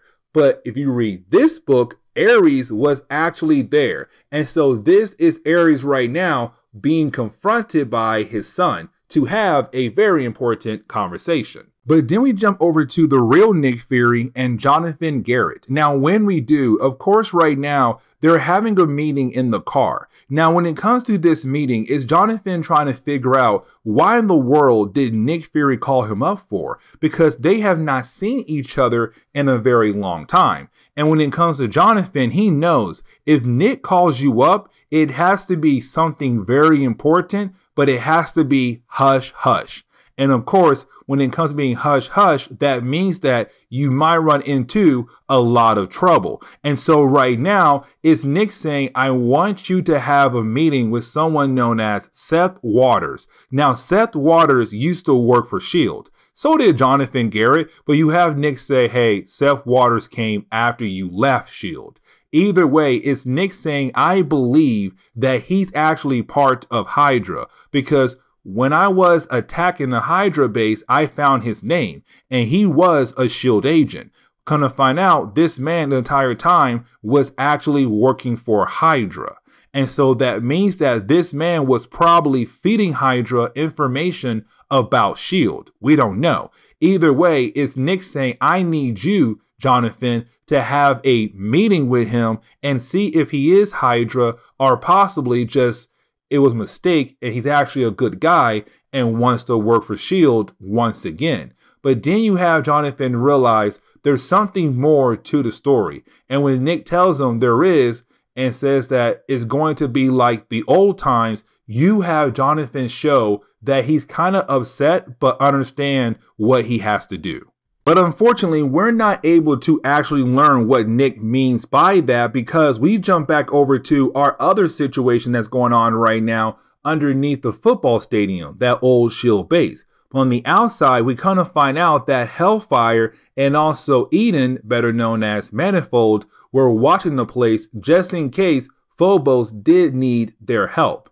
And of course, with things kind of popping off, you have Hellfire Eden say, okay, it's probably best for us to go ahead and go in there and save him because if we don't, things could just get only worse. And honestly, I do not want to get yelled at by Nick Fury if something happens to the kid. So let's go inside and make sure the kid is actually okay. Now remember, when it comes to Manifold, and we've seen him a lot of times in our coverage over different things that Jonathan Hickman has done over the years in Marvel Comics, but he has the ability to actually teleport across the universe. Now, at this moment, it's not that powerful, but later on, it will become very powerful. But right now, you have Manifold and Hellfire say, let's get inside there and save the kid before he's killed off by Norman or possibly his father, Ares, the god of war.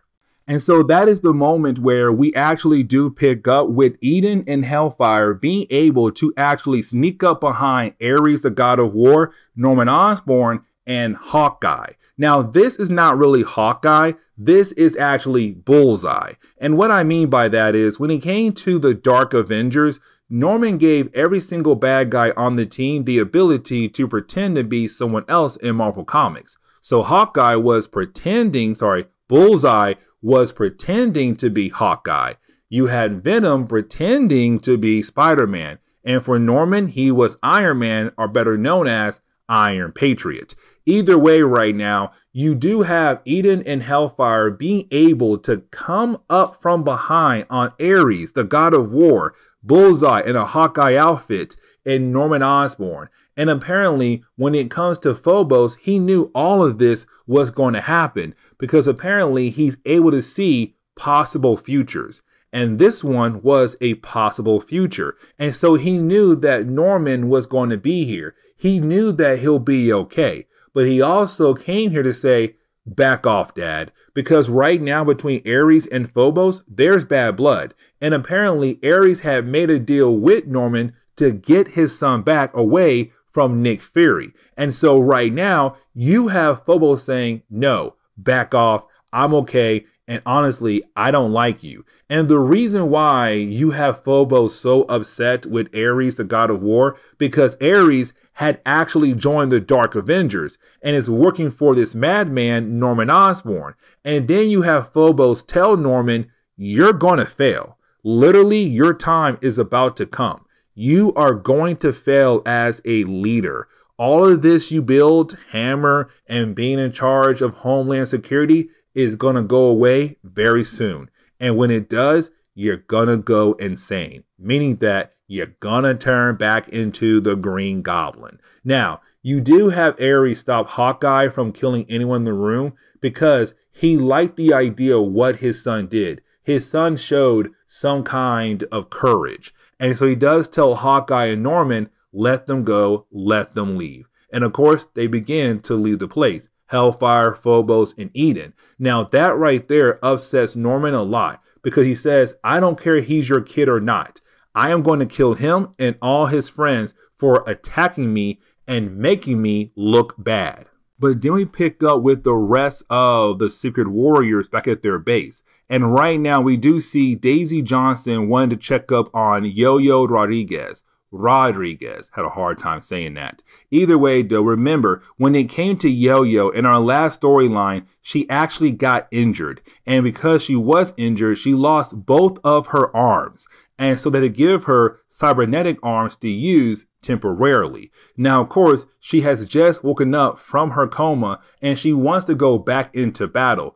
Where you do have Daisy Johnson, the leader of the team, tell her, We are not going back into battle anytime soon. Matter of fact, you need to rest because what you just went through, losing both your arms, is not something so easy to move on from. Now, that is the moment you do have the alarms go off.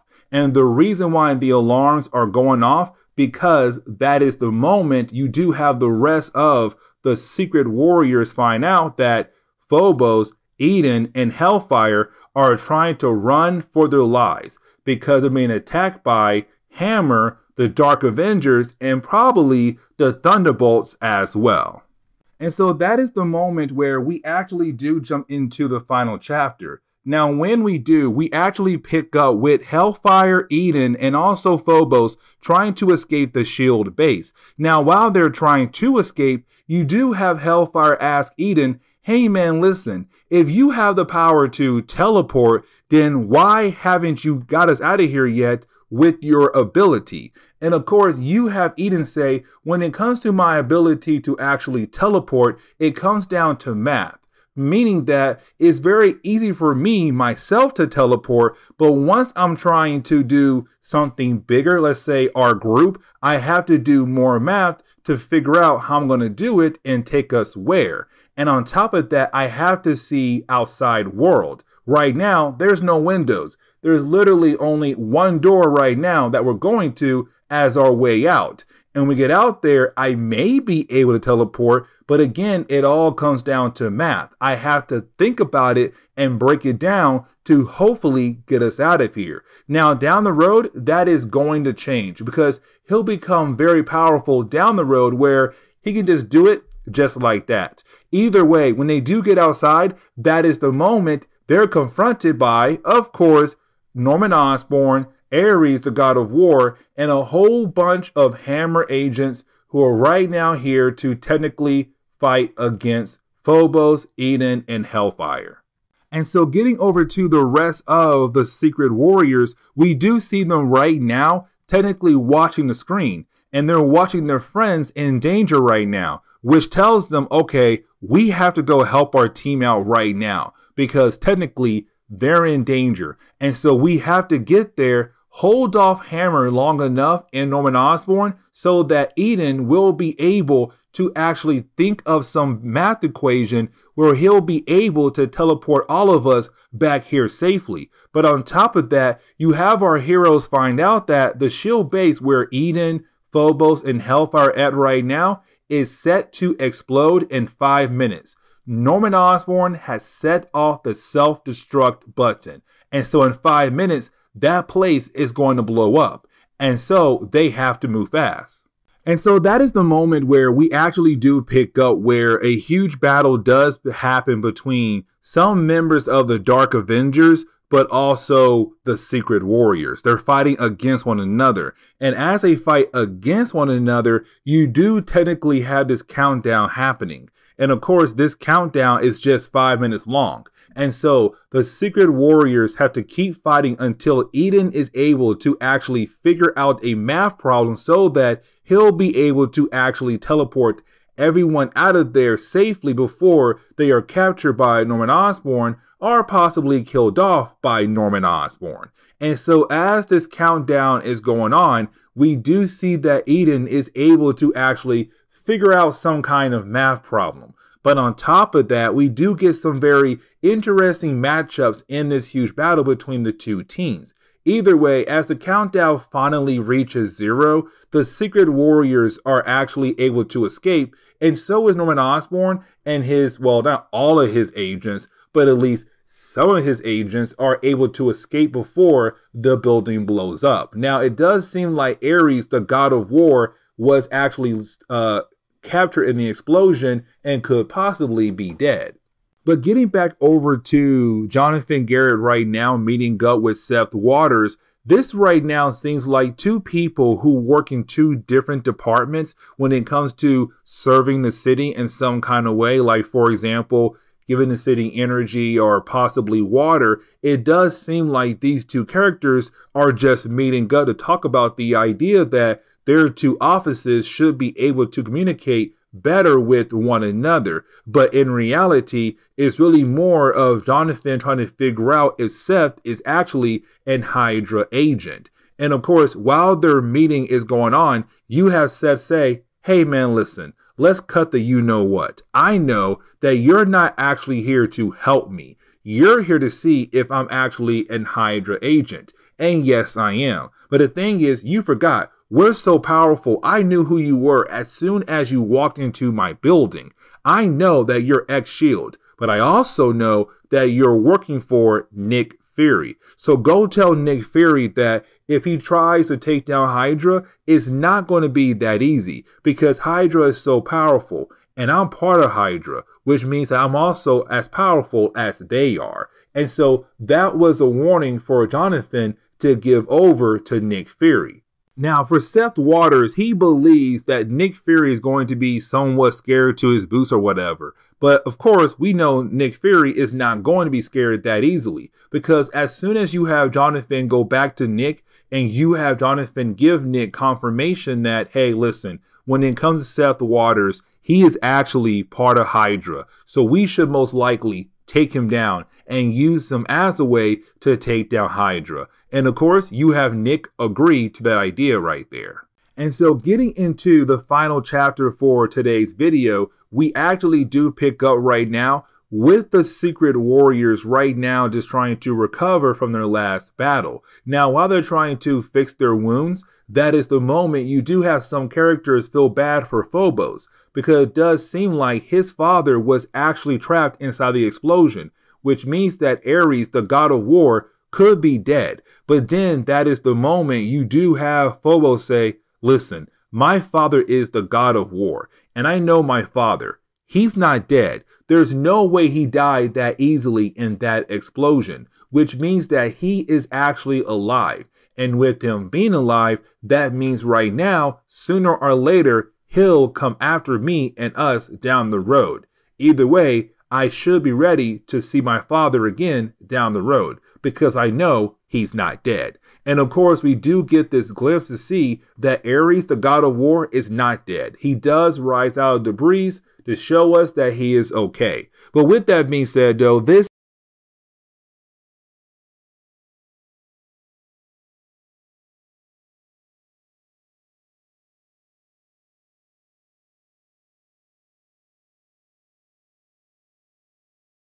Okay, so to continue our coverage over Secret Warriors, we actually do pick up with Dark Reign the List Secret Warriors. Now, this is technically a one shot that was part of a series of one shot that Marvel had released in the middle of Dark Reign. Now, the whole point of the List storylines were technically about Norman Osborn going after certain characters that he felt like should be arrested. Because remember, in Dark Reign, Norman Osborn was in charge of Homeland Security into protecting America. But on top of that, there were characters out there he felt like they were a threat to America that had to be arrested. And one of those characters is Nick Fury. Because at this point in Marvel Comics, Nick Fury was technically on the run for breaking a lot of laws in an earlier storyline.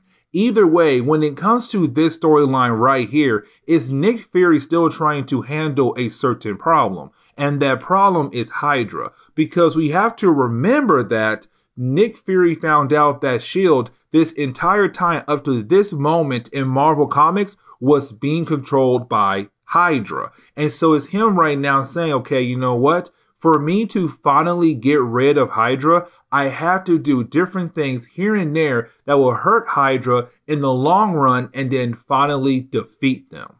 And so, getting into today's storyline, we actually do pick up right now with Nick Fury about to sneak into Stark Tower. Now, Stark Tower was originally owned by Tony Stark. Now, the problem is, though, with this being Dark Reign, Norman Osborn actually had replaced Tony when Tony was the person in charge of Homeland Security. And so when Tony lost that role to Norman, he also lost Stark Tower to Norman as well. And so this is Nick right now sneaking into Stark Tower to actually find Norman Osborn to ask him for help. Now, while you have Nick Fury trying to find the room of Norman Osborn, he does run into Ares, the god of war. Now, when it comes to Ares, the god of war, we have to remember that he's technically part of the Dark Avengers, but on top of that, his son, Phobos,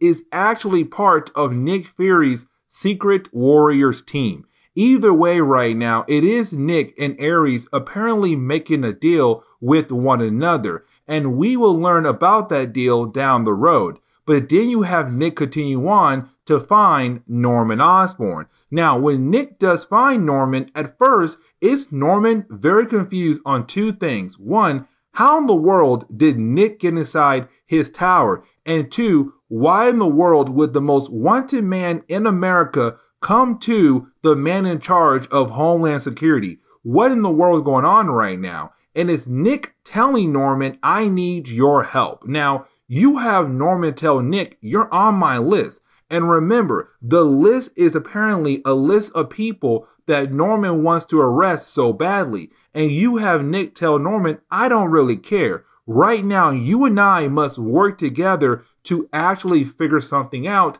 and also accomplish something very big.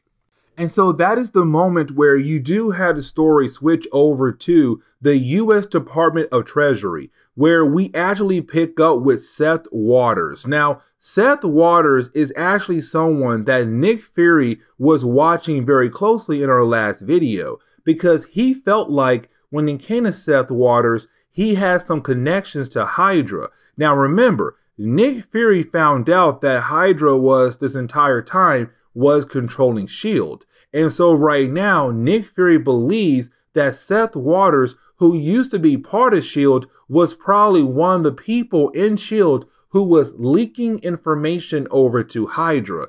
And so right now, you do have a bunch of Hammer agents come into his office and take Seth Waters in for questioning. And so that leads us into Norman Osborn actually interrogating Seth Waters. Now, Nick is also there as well, but Nick is technically staying on the sideline and hiding behind the mirror. And the reason why, because it's Nick and Norman not wanting Seth Waters to know that Nick is actually there so that Seth could possibly tell Norman everything he needs to know. Now, you do have Norman try his best to actually scare Seth Waters, but you have Seth show us that he's a man who doesn't get scared so easily.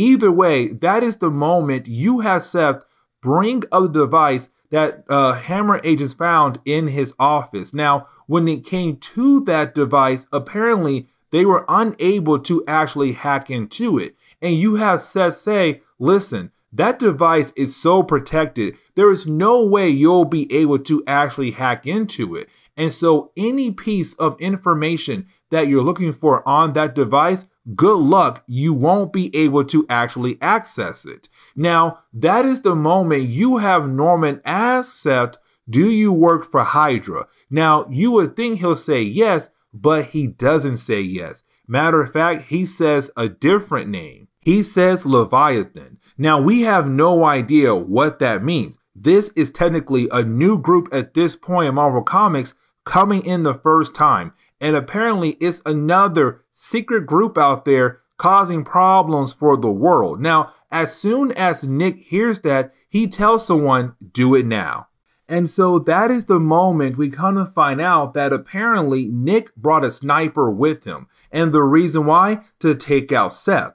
And so, with that happening, Seth dies. But the reason why Nick did that, so that Seth won't be able to tell Norman Osborn anything else about what's going on with this new Leviathan group. Either way, you have Nick then begin the process of actually trying to get out of Stark Tower to then get away from Norman Osborn because Nick is technically still on the run. He's technically most wanted in America. Now we come to find out that his sniper was actually John Garrett. And we met John Garrett in our last video. Either way, you have Nick being able to get out of Stark Tower, get into his flying car with John Garrett, and they begin to fly away. Now, you do have Ares, the god of war, send a message to Nick by throwing an axe into his car by telling Nick, you still owe me a favor. And of course, we're going to see that favor down the road. Either way, you do have Nick and John being able to actually get away. And so that is the moment where we actually jump over to Nick and John being able to go back to their secret base. Now, when they get back to their base, this actually leads into Nick telling us that he was able to steal the hard drive from Norman Osborn and the Hammer agents, the same hard drive that was found in Seth Waters' office. Either way, when it comes to this hard drive, it's holding a lot of information about Leviathan. Now, we were told earlier that apparently by Seth Waters, this hard drive is so hard to hack into. But of course, with Nick, nothing is hard for him to break into or hack into. And so he was able to hack into the hard drive. Now, when he does that, that is the moment he begins to learn a little bit more about Leviathan. And that is the moment he comes to find out that they have many secret bases across the world. But on top of that, something called the Great Wheel. And the Great Wheel has a list of names of different people who belong to different groups, like Nick Fury or Baron von Strucker, who belongs to Hydra. And this right here kind of tells us that there is a possibility that Leviathan may have their hands in different organizations across the earth. including S.H.I.E.L.D. and Hydra, and probably many more. Now, when it comes to the Great Wheel and all their names on the Great Wheel, each name is technically representing a zodiac sign. And so that means every single zodiac sign is being used by a particular person. Now, we only have a few names on this list. Some names are still unknown. But as we go through our coverage over Secret Warriors, we might learn more of those names down the road. Either way, this is where we are going to end today's comic book video. I know it's short, but honestly, it's a one shot to kind of give us more information about what's to come down the road in later videos.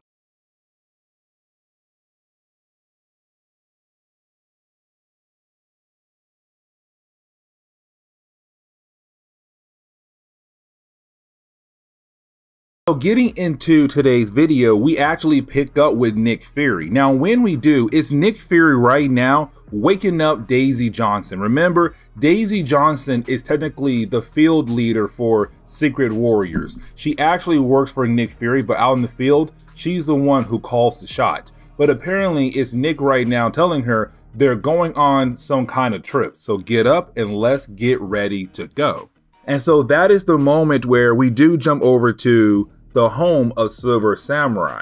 Now, when it comes to Silver Samurai, the last time we saw him was back in Volume 1, where he was giving away a box. Now, we had no idea what is inside the box, but apparently the box was holding a very special item, and he gave the box over to Viper. Now, the reason why I'm bringing up the box right now, because in his own house, he's being attacked right now by a group of people that actually work for Leviathan. They're just a bunch of henchmen. Either way, right now, they came to his house looking for the box. But of course, once they're able to actually defeat him and read his mind, they realize that the box is no longer in his possession, which is correct because right now the box is with Viper, one of the five big bosses of Hydra. And so you can tell they're very upset about the idea that the box is not here with him anymore. Now, that is the moment where we actually do jump over to Gorgon and Viper. Now, when we do, of course, we have to remember that these two characters are both bosses when it comes to Hydra. They're both two of the five bosses of Hydra. Either way, right now, you do have the two characters right now talking about one of their new projects the Dreadnought Medusa. And apparently, it's a very special project that's going to help them out in their war against other people who are trying to stop them. Now, while you have the two characters actually talking to one another, you then have Viper realize that what Gorgon wants that Gorgon wants war. Like he wants to go to war against all his enemies and actually defeat them. Now, when it comes to Viper, though, Gorgon realized that she does not want war. And matter of fact, she tells him, no, I don't want war. I want more for my destiny. Now, you would think that that line right there is a throwaway line, but honestly, it's not a throwaway line. That line right there is going to be very important for this storyline, and you'll see what I mean as we go through this book actually. Now, after Viper and Gorgon had their conversation, you didn't have Gorgon actually call one of his servants to his room. Now, of course, this may seem like he wants to have some alone time with this servant because it's just him and her going to his private room. And matter of fact, at first, when I saw this section, I actually thought that. Either way, when they do go into his private room, well, that is the moment she realized that there are a lot of statues in the room, but also these statues are women. Now, guys, we have to remember that when it comes to Gorgon powers, if you look into his eyes, you're basically turned to stone. And so right now that means these other statue figures are past women who were invited into his private room and then he just turned to stone. And so when it comes to this new servant who at first thought that she's going to have some alone time with Gorgon, well, that is the moment he reveals his eyes to her. And of course, she looked into his eyes and now she's been turned into stone. Now, after that, that is the moment he does look at a blade. Now, this blade is actually very important because it kind of goes back into his origin story, but also how he was able to join Hydra six years ago. And so that is the moment where we actually do jump back six years ago. Now, when we do, we actually pick up with Gorgon right now being confronted by Commander Kraken. Now, remember, in the present day, Kraken is actually another leader of Hydra as well, along with Gorgon and Viper. Either way, when it comes to Kraken, he's right now coming to actually talk to Gorgon about joining Hydra. Now, when Kraken arrived at the home of Gorgon six years ago, Gorgon apparently had used his own powers on his own family, and so his entire family had been turned to stone. Now, you do have Gorgon tell Kraken that if he feels like Kraken's here to kill him or possibly hurt him, who did the same thing to Kraken like he did to his family. Except that is the moment you have Kraken say, You can try that, but you will fail because my helmet prevents your powers from actually working on me. But the real reason why I'm here is to give you something very important. And so that is the moment we do see Kraken actually give Gorgon a blade a blade known as the God Killer. And apparently, the reason why it's called the God Killer because it killed kings, emperors, and made a god bleed. Either way, it's a way for Kraken saying, listen, you need this blade to build your destiny. I'm not trying to stop your destiny. I'm trying to help you reach your destiny. And so that was the moment where Gorgon had actually joined Hydra. And so back in the present day, when we saw him look at a blade, that blade was the God Killer blade that was given to him by Kraken. And so that is the moment where you do have Jonathan Hickman remind us about Yo Yo. Remember, Yo Yo is one of the members of Secret Warriors, but she got badly injured in one of our first storylines. Matter of fact, she lost both of her arms. Now, with that being said, she was in a coma, but even then, she was also in recovery and also getting robotic arms. Now, because she was in recovery, she was unable to actually communicate with her mother. And so, right now, we see Yo Yo and Stonewall going to see her mother because her mom is probably so worried about her daughter because she has not heard from her daughter in who knows how long. Now, Yo Yo is scared to go see her mom because now she has robotic arms. But it's Stonewall saying, listen, you should go see your mom because you have not actually talked to her in so long. But on top of that, she may be very concerned about your robotic arms, but at least she'll know that her daughter is still alive. Now, Yo Yo does agree to do this, but only if Stonewall goes to see his father as well.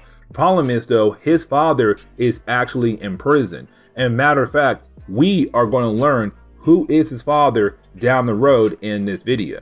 And so that is the moment where we actually jump back over to Gorgon. Now, the reason why, because remember, there is Leviathan out there right now, and apparently they're trying to look for the box. Now, they already attacked Silver Samurai, but after that, they did go over to the base that belongs to Gorgon, the Hydra base. Now, of course, they're going there to also look for more clues about the box because they believe that they'll be able to actually take on Gorgon. And so when they do arrive at his Hydra base, and of course, they do locate him, he's not scared at all. And matter of fact, he welcomes the challenge. He's all like, please, bring it on so I can just cut you guys down left or right and make y'all bleed because y'all made a huge mistake coming into my place. So let's go right now. And so that is the moment where we actually do jump over to Nick Fury and Daisy Johnson finally again. Now remember, apparently they were going on some trip, and we come to find out their trip was to go to a secret base,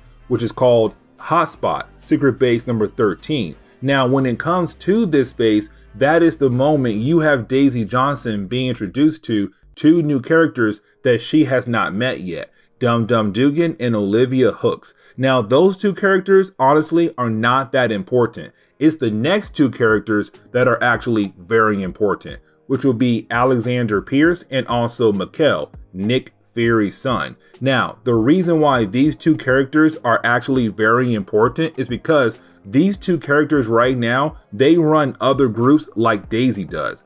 Other groups of secret warriors. And right now, they all been assigned to do different things. But it's Nick saying, your three groups, Daisy, Alexander, and Mikhail, it's time to bring y'all groups together because right now a huge storm is coming and I need all hands on deck for this huge storm.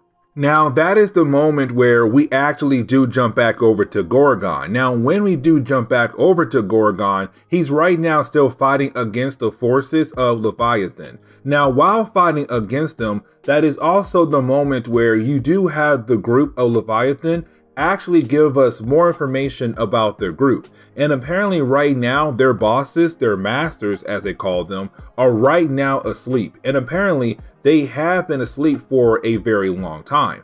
But sooner or later, they're going to wake up. And the reason why they're here right now attacking this Hydra base is to one, get the box, but two, also gain information about this new world from the mind of Gorgon because when their masters wake up, they're going to wake up to a new world, a whole brand new kind of society. Now, with that being said, Gorgon's kind of like, no, you will not take anything out of my head at all. And of course, he does kill every single one of them in his room. Now, as soon as he does that, he realized, wait a second, I'm not the only person on this base right now. There's also Viper as well. And the problem is, though, when he does realize that and runs down to see if Viper is okay, Viper has now been kidnapped by Leviathan and they fly away. And so now one of the five Hydra bosses has been kidnapped and taken away by this new evil group.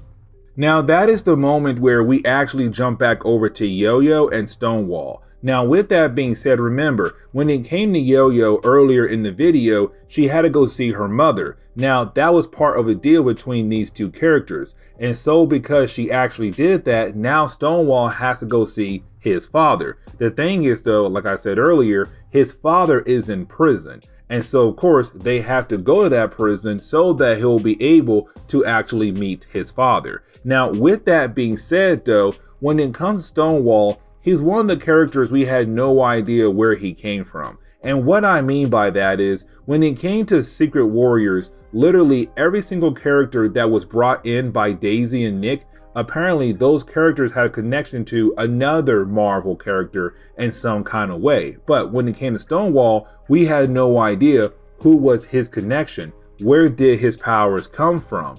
And we come to find out they come from the Absorbing Man.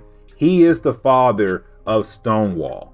Now, we do have another flashback. In matter of fact, we do jump back six years in the past. Now, when we do, this is a way for us to actually learn about the origin of Hive because Hive is another boss of Hydra. Now, when it comes to Hive, we're still kind of left wondering more information about his past, but we do learn that when it comes to Hive, apparently he was recruited because he was a weak body person, but it made him the perfect host for some kind of parasite that was produced by Kraken. And so once the parasite was able to actually attach onto the young man's body, of course, that person evolved and he turned into the creature we have today in the present day, the Hive, one of the five bosses of Hydra. And so, getting back to the present day, we actually do pick up with the rest of the Hydra bosses right now meeting up. And the reason why they're meeting up right now is all because of Viper being kidnapped. But on top of that, because somehow Leviathan was able to access Gorgon's Hydra base, which is something that should not happen so easily. And so, right now, it's Gorgon saying, We have a traitor in our group someone high up in the ranking, possibly one of us. But the question is right now, who? Who is the traitor? And so right now, you have each boss try to say, no, it's not me. But of course, you can't believe that. And so you have Kraken say, you know what? I have the best idea. I am going to use our psychics to read our minds to figure out who is the traitor. And once they do that, we'll find out who is actually the person right now betraying our organization. Now, that is the moment where we do jump back over to Nick, Alexander, Mikhail, and also Daisy. Now, when we do, it's Nick right off the bat saying that this meeting right now between all three groups is going to be a one time thing. Just in case there's some kind of breach down the road, the other groups will not be affected at all. Now, with that being said, he wants each group right now, each leader of each group to right now share their information about their assignment. Now, when it comes to Daisy, honestly, she has no information to actually share. And the reason why, because her team is more the attack team, and that is why. Now, with that being said, we come to find out that when it comes to Pierce, apparently he was assigned, his team was assigned to look for different Hydra bases. And of course, he did find a few of them. Now, when it comes to Mikhail, his assignment was to get any kind of information about Leviathan. The problem is, though, he can't find anything at all. Like, once he gets one small clue, and try to follow that clue to hopefully get more information about Leviathan, it leads into a dead end. Now, that is the moment you have Nick kind of give us the idea of what Leviathan is actually is. Now, that is the moment where you do have Nick try to explain that when it comes to Hydra, Hydra is technically the leftover pieces of Imperial Japan, but also the fascists of Germany. Now, that is actually Hydra. But when it comes to Leviathan, they are technically the leftover pieces of the Soviet Union. Now, the problem is, though, when it came to Leviathan, they had 100,000 agents. But then one day, they all just disappeared just like that, gone. And no one knows what exactly happened to them. But then we jump over to one of the bases of Leviathan. Now, when we do, we actually see the leader of this group right now trying to get more information about the box out of Viper. Now, when it came to Viper, she did get the box from Silver Samurai, but she then hand the box over to Madam Hydra, another boss in the Hydra group. And so, with that being said, she has no idea where the box is actually at. Now, when it comes to this leader, he's very upset about the idea that their plans right now are being delayed left and right. And so, to kind of move their plans along a tad bit faster, he tells his henchmen, okay, you know what? It's time to wake the beast. And that is the moment we kind of find out that this base is holding so many different members of Leviathan in some kind of containers. And of course, they're kept in stasis, which means that when Nick Fury said there were 100,000 agents, they all disappeared one day and no one knows where they went to, bam, they're right here right now. They are all kept in this base right now in some kind of stasis. But now they're being waken up into the new world to begin the process of actually taking over the new world. Now, getting into the third chapter, that is the moment where we actually pick up with Nick Fury right now on his jet as he talks to Dum Dum Dugan. Now, right now, it's just Nick telling Dugan that he's going to use one of his special teams as a way to back up the Howling Commandos, the private military team that Dugan runs. Now, right after that conversation, we do see Dugan talk to some other characters right now about the idea that if they actually trust Nick Fury's plan.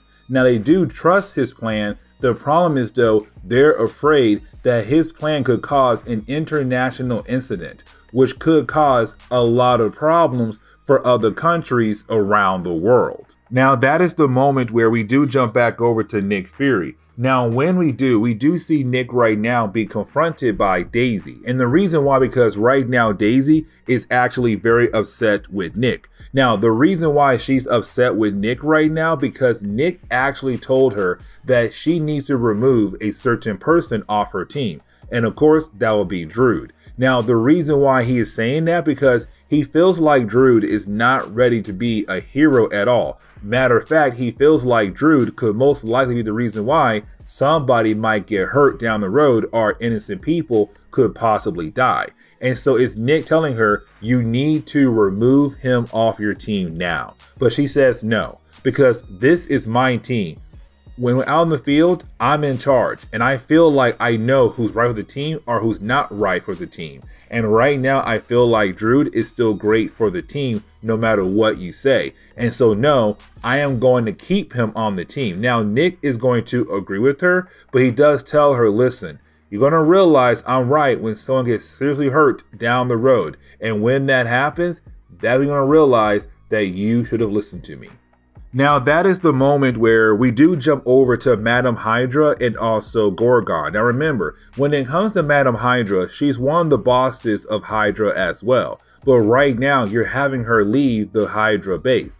Now, that is a huge no no. And the reason why, because she was not clear to actually leave yet. And the reason why I'm saying that, because remember what Kraken said earlier, right now, he is going to use the psychic team as a way to read the minds of every single boss of Hydra to make sure nobody is actually a traitor at all. But Madam Hydra has not been cleared yet. And so it does seem very sketchy that right now she is trying to leave. And the Gorgon, he wants to know if he should actually stop her or let her go. But what she tells Gorgon is that she feels like right now they're wasting time doing these tests because the longer Viper is held by them, the more their secrets could get out.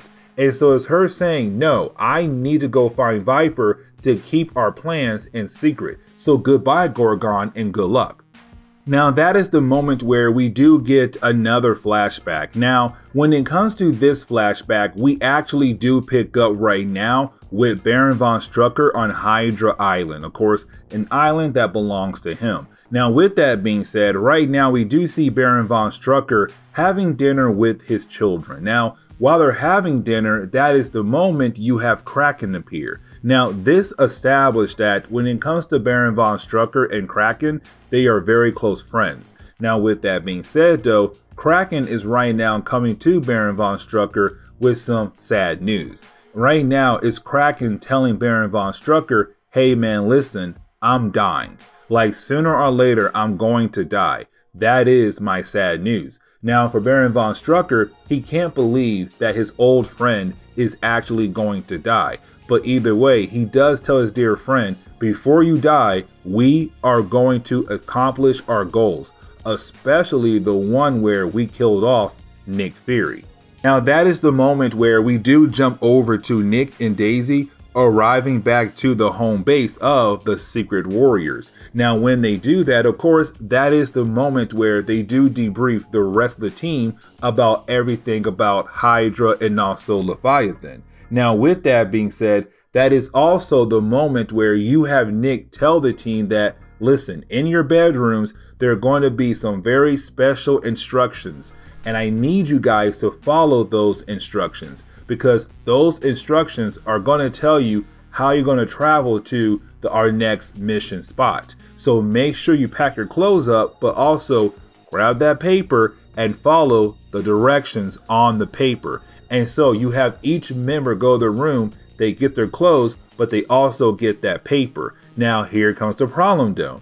Druid. Because when it comes to Druid, Nick said, sorry Druid, you're off the team. Go home. You can't be a good hero a good fit for this team. Now, this is going to be a huge problem. And the reason why, because Nick just told Daisy, fine, if you feel like Druid can stay on the team, then Druid can stay on the team. But now this is Nick saying, nope, I'm sorry, I lied. It's my team, my decision, and I feel like Druid should be off the team. And matter of fact, he is off the team.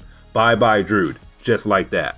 And so that is the moment where we do jump over to Madam Hydra. Now, when we do, we come to find out that Madam Hydra is actually a traitor. She's working for Leviathan, which honestly, it was so obvious. Either way, though, when she does arrive, Viper cannot believe that Madam Hydra is the traitor. But on top of that, Madam Hydra is about to give Leviathan the one thing they've been looking for in this entire storyline and of course, it is the box. And so now she can hand over the box to say, listen, this proves that I'm trying to work with you guys. I am part of Leviathan. And this just got a tad bit crazier.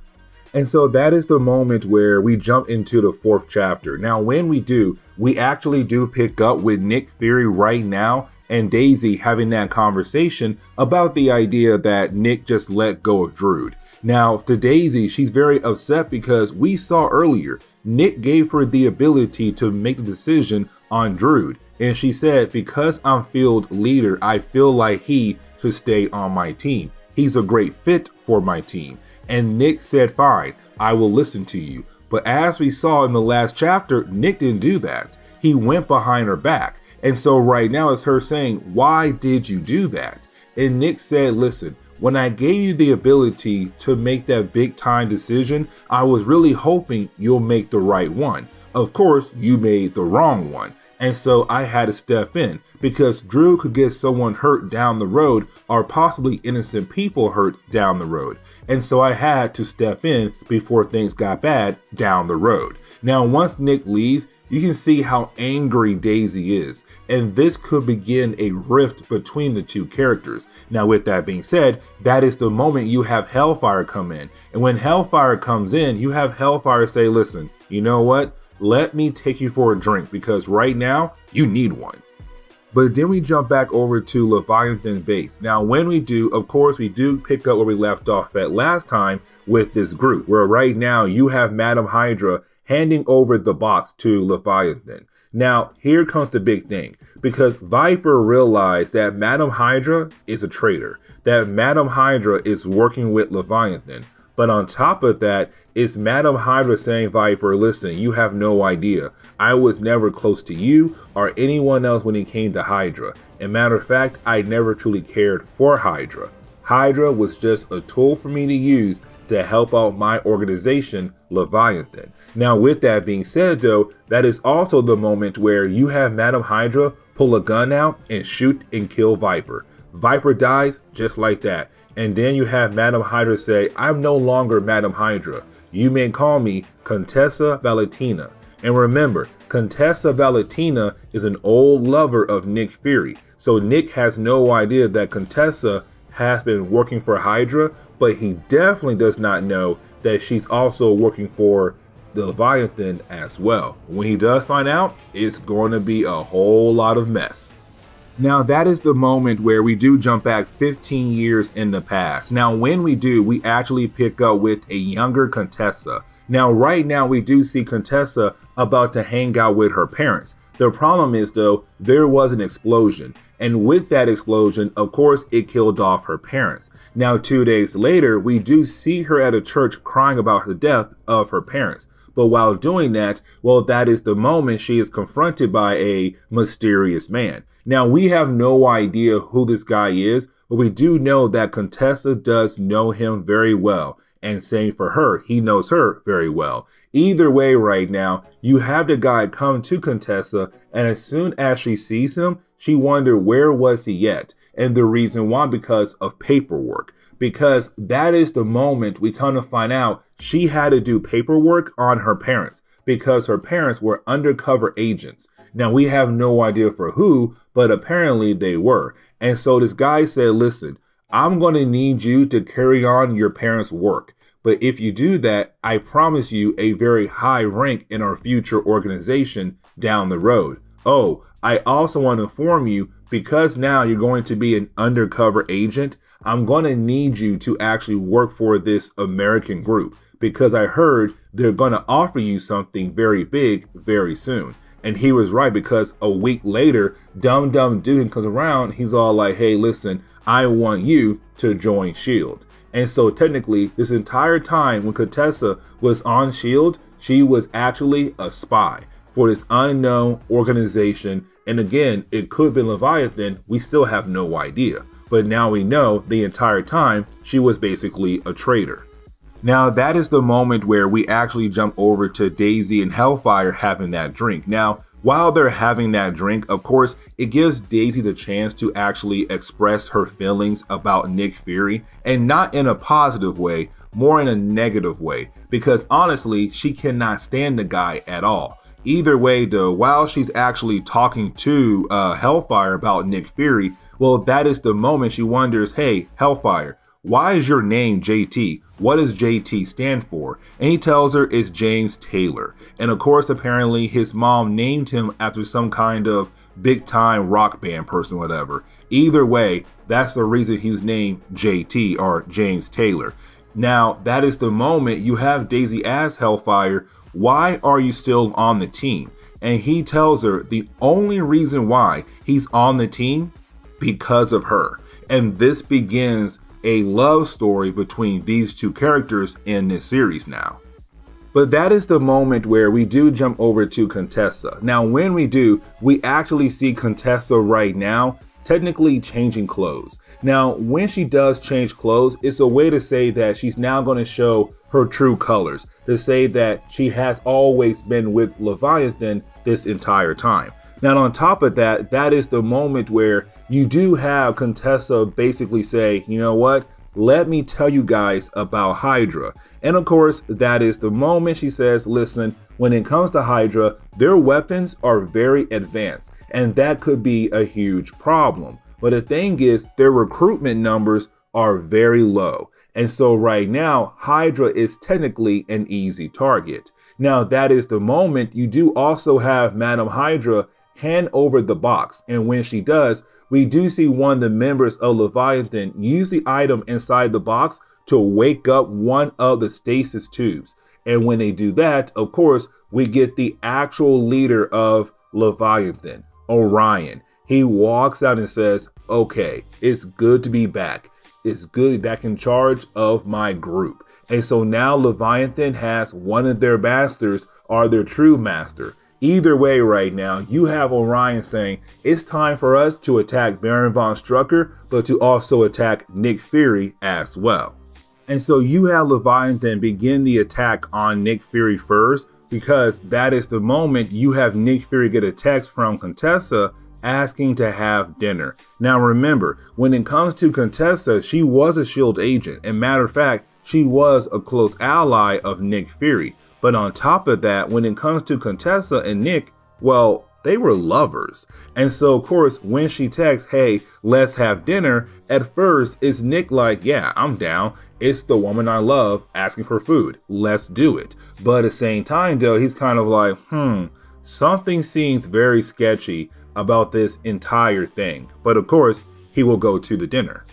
And so that is the moment where we jump into the fifth chapter. Now, when we do, that is the moment where we actually pick up with the Secret Warriors right now playing cards. Now, with them playing cards, of course, they have a conversation about the idea of bringing back Druid. Now, of course, when it comes to most of the team, they agree that they should bring back Druid. The problem is, though, they know they need Nick Fury's permission to actually do it. And that is the huge problem because Nick Fury is most likely going to say no. Now, that is the moment where you have Stonewall say, listen, y'all, I feel like Nick Fury has the potential to have us reach our full potential, but we have to begin to trust him. But on top of that, we have to start working like a family because that is our biggest problem. We're not working like a family. And with that right there, we could technically all die down the road because we're not actually bonding with one another. So we should actually change that right now.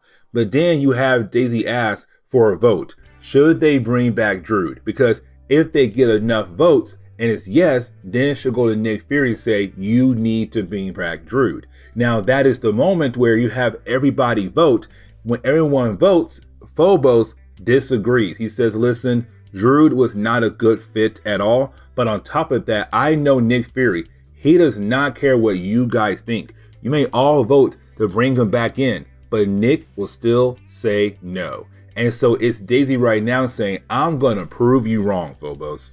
Now, that is the moment where we actually do see the Hydra bosses go to the base of Leviathan. Matter of fact, one of their bases. And reason why I say one of their bases is because when the Hydra bosses actually arrive at that base, Leviathan is gone. They left the base behind. It's completely abandoned. On top of that, they left the dead body of Viper. And that right there is huge because now they know one of their own is dead. Now, with that being said, that is also the moment where they do find a message that was left behind for Baron von Strucker. And the reason why, because we kind of find out Baron von Strucker and Orion, they have some kind of connection between each other. Now, we have no idea what this connection is, but once the message is played, you have Orion say, it's about time for us to actually meet. And matter of fact, I'll meet you at the crown in three days from now. And so now we know that they're going to have some kind of big meeting. But the big question is, what is the connection between Baron von Strucker and also Orion? Now, that is the moment where we actually do pick up with the origin of Viper. So we go back in time and we come to find out that when it comes to Viper, at a very young age, she was actually recruited by Hydra. And matter of fact, they put young girls in these houses. There were eight houses, and each house had 12 girls. But if you wanted to show Hydra that you were the best fit to join, you had to beat every single girl in your house. And so at the end of the time for Viper, she was the last girl at her house. And of course, she did join Hydra and then she did move up the ranks. Now, we do also see other memories of Viper from her past. And honestly, most of them are not important for this storyline. But back in the present day, we actually do see Viper coming back to life because it seems like Hive was able to share a parasite to go inside her body to bring her back to life. But when she does come back to life, she says, No, do not call me Viper anymore. Call me Madam Hydra. I am now going to replace Contessa as Madam Hydra for the Hydra organization. Now, that is the moment where we actually jump back over to the dinner between Nick Fury and Contessa. Now, when it comes to this dinner, it's really more of Contessa doing what Leviathan had told her to do do something with Nick Fury. Now, that is the moment where she does bring out a lot of guys with guns, which of course does tell Nick, okay, this was supposed to be a trap. Now, to Contessa, she thinks she has Nick Fury right where she wants him. But this is Nick Fury. The dude is always prepared for almost anything. And so that is the moment you have Nick say, Nope, here's my guys and their guns as well. And you have all these guys stand up and point their guns at Contessa and her fellow members of Leviathan to show that Nick Fury is always prepared. Now, of course, you do have both sides call a truce because they realized that not either side could technically win this battle. Now, while Nick leaves, he does tell Contessa one thing. He says, Listen, I want you to remember that I bought you those flowers. And then he walks away. Now, that line right there could be a throwaway line, but knowing Jonathan Hickman, that line is going to be somewhat important. Now, that is the moment where we actually do jump back over to Nick Fury, going back to the base of the Secret Warriors. Now, when he does arrive back at the base, of course, that is the moment where you have Daisy coming to him and saying, Hey, man, listen, I feel like you made a huge mistake letting Druig go. Now, when it comes to Nick Fury, he feels like he never makes mistakes at all. And so he tells her once again, Listen, Druig is off the team. It's final. And I need you to wake up because I'm trying to get you ready for something big to come down the road. But unfortunately, you're too blind to actually see what I'm trying to do for you right now. And so when I say Druig is off the team, Druig is off the team, and that is final. And you have Nick Fury just walk away. Now, that is the moment where we do see Daisy actually go tell the rest of the team that what Nick Fury just told her that Druig is off the team forever. Either way, though, that is the moment where she does turn her attention over to JT. Hellfire. Now, let's not forget, at the end of the last chapter, she told, or he told her, sorry, he told her that the only reason why he's on the team still, why he has not left the team yet, is because of her, because he has feelings for her. And so, this is her right now saying, I'm going to take charge and see how much really do care for me. And so that is the moment we do see her actually kiss JT. And so this begins their relationship in this series. Now, that is the moment where we actually jump into the final chapter. Now, when we do, we have to jump forward two weeks since the ending of the last chapter. And when we do, we actually pick up right now with Nick Fury meeting up with the team leaders of the three teams that he runs. So, of course, Daisy, Mikel, and also Alexander. But that is the moment where you do have Nick tell his team leaders, hey guys, listen, something big just happened. And what he means by that is in the two week gap between the end of the last chapter and the beginning of this chapter, something big happened. And the question is right now, what happened in the two weeks gap? We don't know yet. Now, that is the moment where you do have the story actually jump back 10 days in the past. Now, when we do, we actually do pick up right now with the big meeting between Hydra, but also with Leviathan. Now, with that being said, you only have the team leaders arriving to this meeting. So, of course, you have Baron von Strucker and you also have Kraken. Now, on the other side, you have Orion appearing. You also have Contessa but you also have a character known as the Magadan. And I really hope I pronounced that correctly. Either way, the three leaders of Leviathan are here right now for the big meeting between Hydra and also Leviathan. Now, that is the moment where we actually do jump back in time even farther. Matter of fact, we jump back two years in time. And when we do, we actually pick up with the original Kraken. And of course, this Kraken is Daniel Whitehall. Now, here comes the big shocker because this man right now is laying in bed dying. And matter of fact, the only reason why he's still alive is because of the machines that are keeping him alive. But that is the moment he is confronted by a mysterious character. Now, this mysterious character is actually here because apparently he read the journals of Daniel. And because of that, he now knows the true history of Daniel, Daniel being the original Kraken, but also knows how the armor actually works. And so our mysterious character actually grabs the helmet, puts it on, and he becomes the new Kraken of the Marvel Universe. But on top of that, he turns off the machines that are keeping Daniel alive.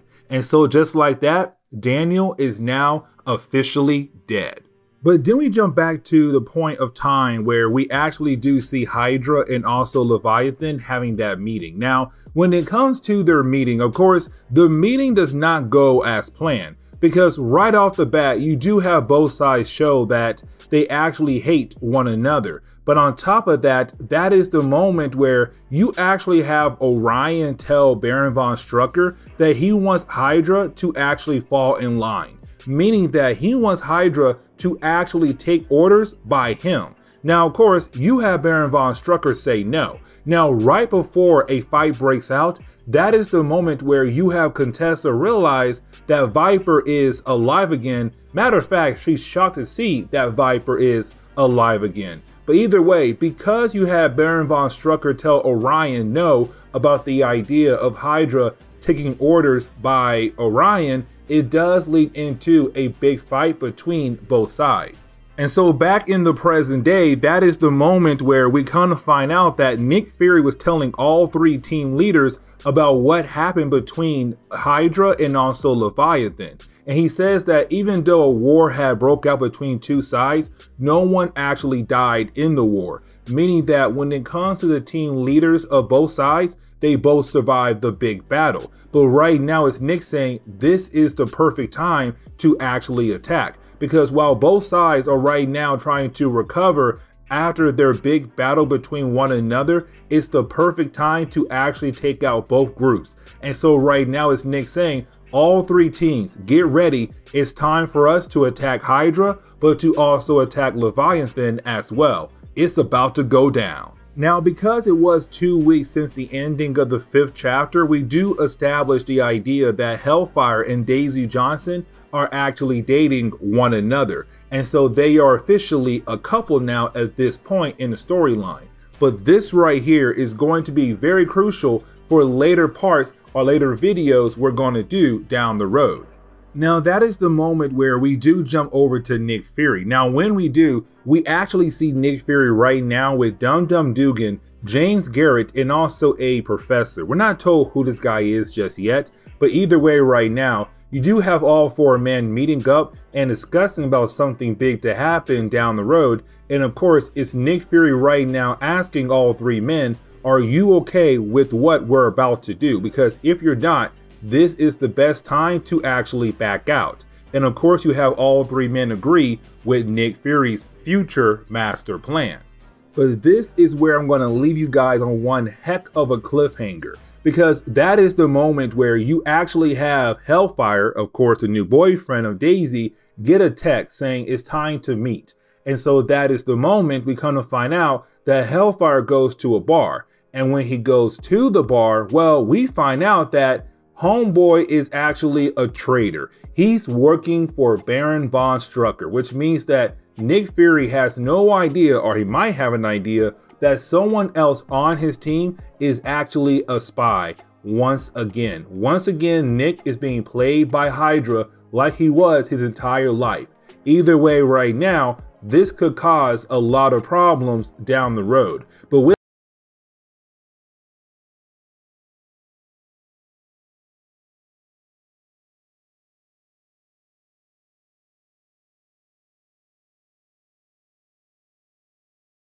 So to get into today's storyline, we actually pick up at the UN. Now, when it comes to the UN, the United Nations, it's not going to be one of those big meetings where you have every single country involved in the UN coming to a meeting to talk about something very important. Instead, you're going to have select members from different countries coming to this one particular meeting.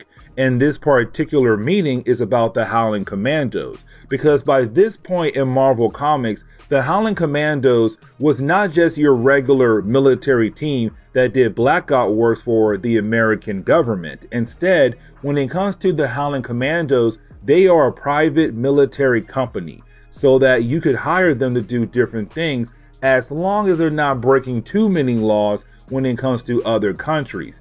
Either way, though, the Howling Commandos apparently did something really big in China recently. And so that is why we're having this meeting with some members of the United Nations. Because right now they're going to discuss what happened over in China with two particular members of the Howling Commandos.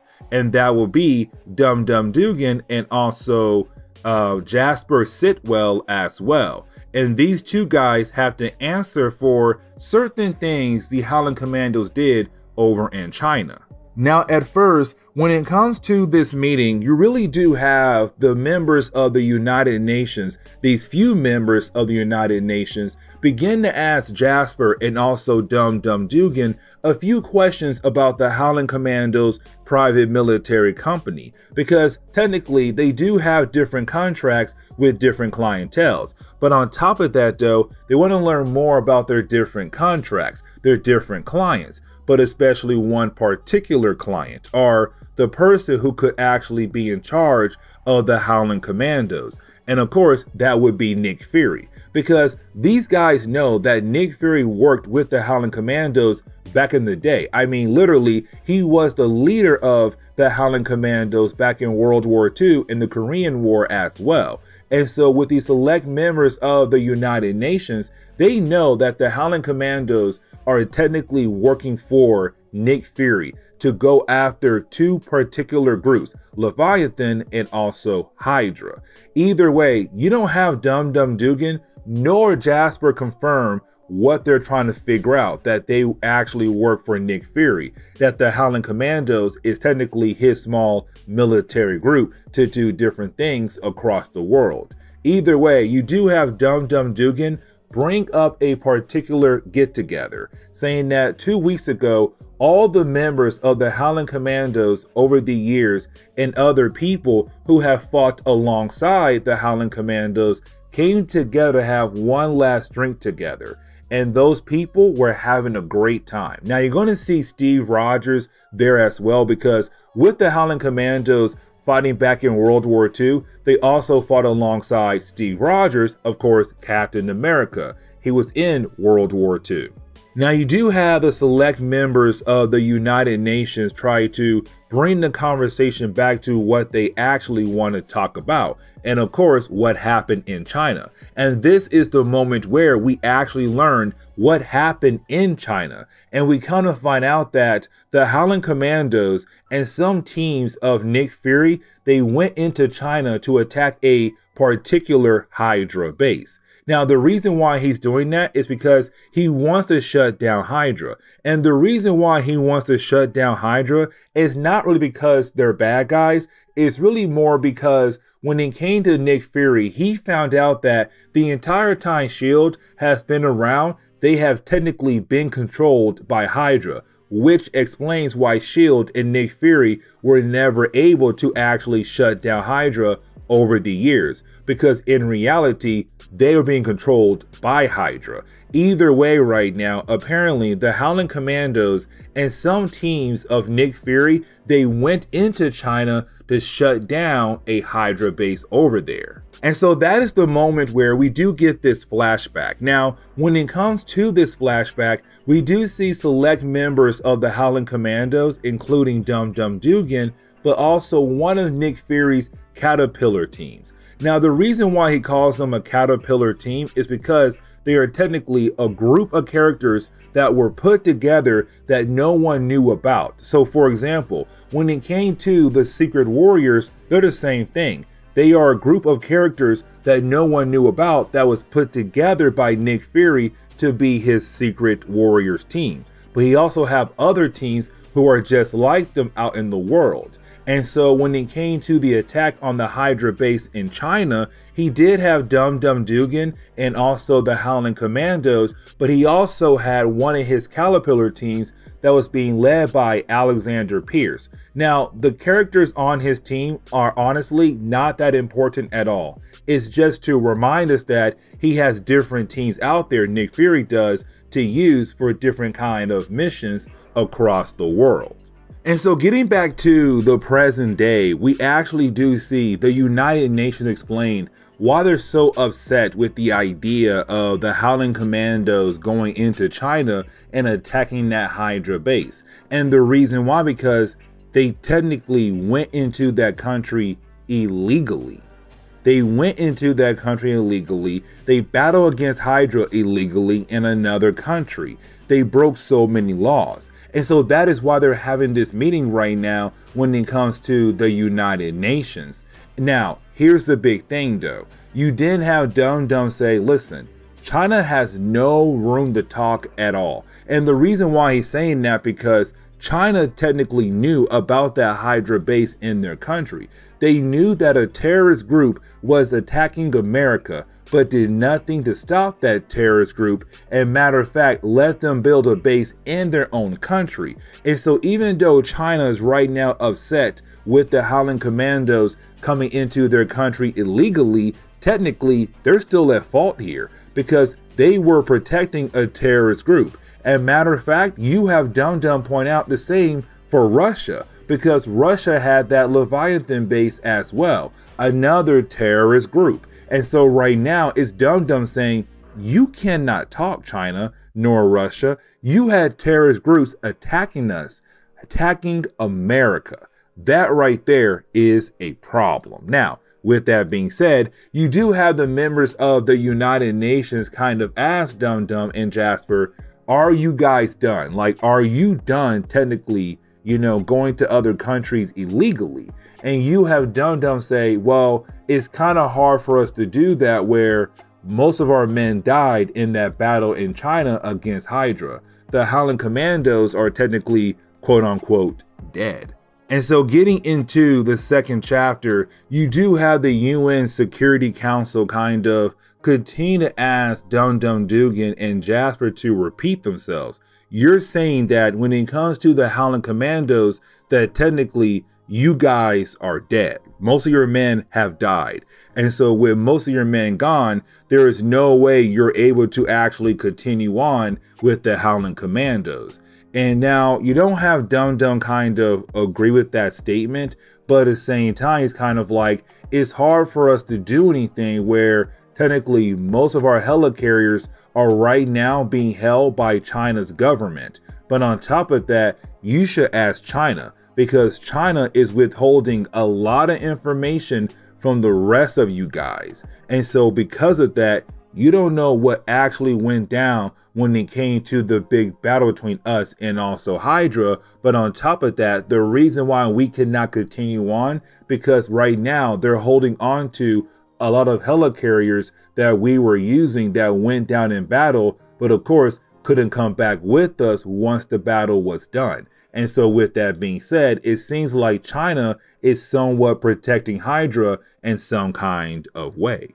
And so we do get a flashback where we are actually able to see the big battle between Hydra and also the Howling Commandos. And of course, this section does last for a few pages, but it is a way for us to actually see, you know, how big the battle was. Now, when it comes to a select group of the Howling Commandos, they were actually able to find a particular room. Now, when it comes to this particular room, apparently we come to find out that Hydra had a certain project going on where they were creating hive parasites. Now, remember, the original hive parasite did attach to a particular human, and that human did evolve into, of course, the hive we have today in Marvel Comics, one of the main bosses of Hydra but now they're trying to create more hive parasites as way to have more hives in their organization. Now, with that being said, though, you do have the Howling Commandos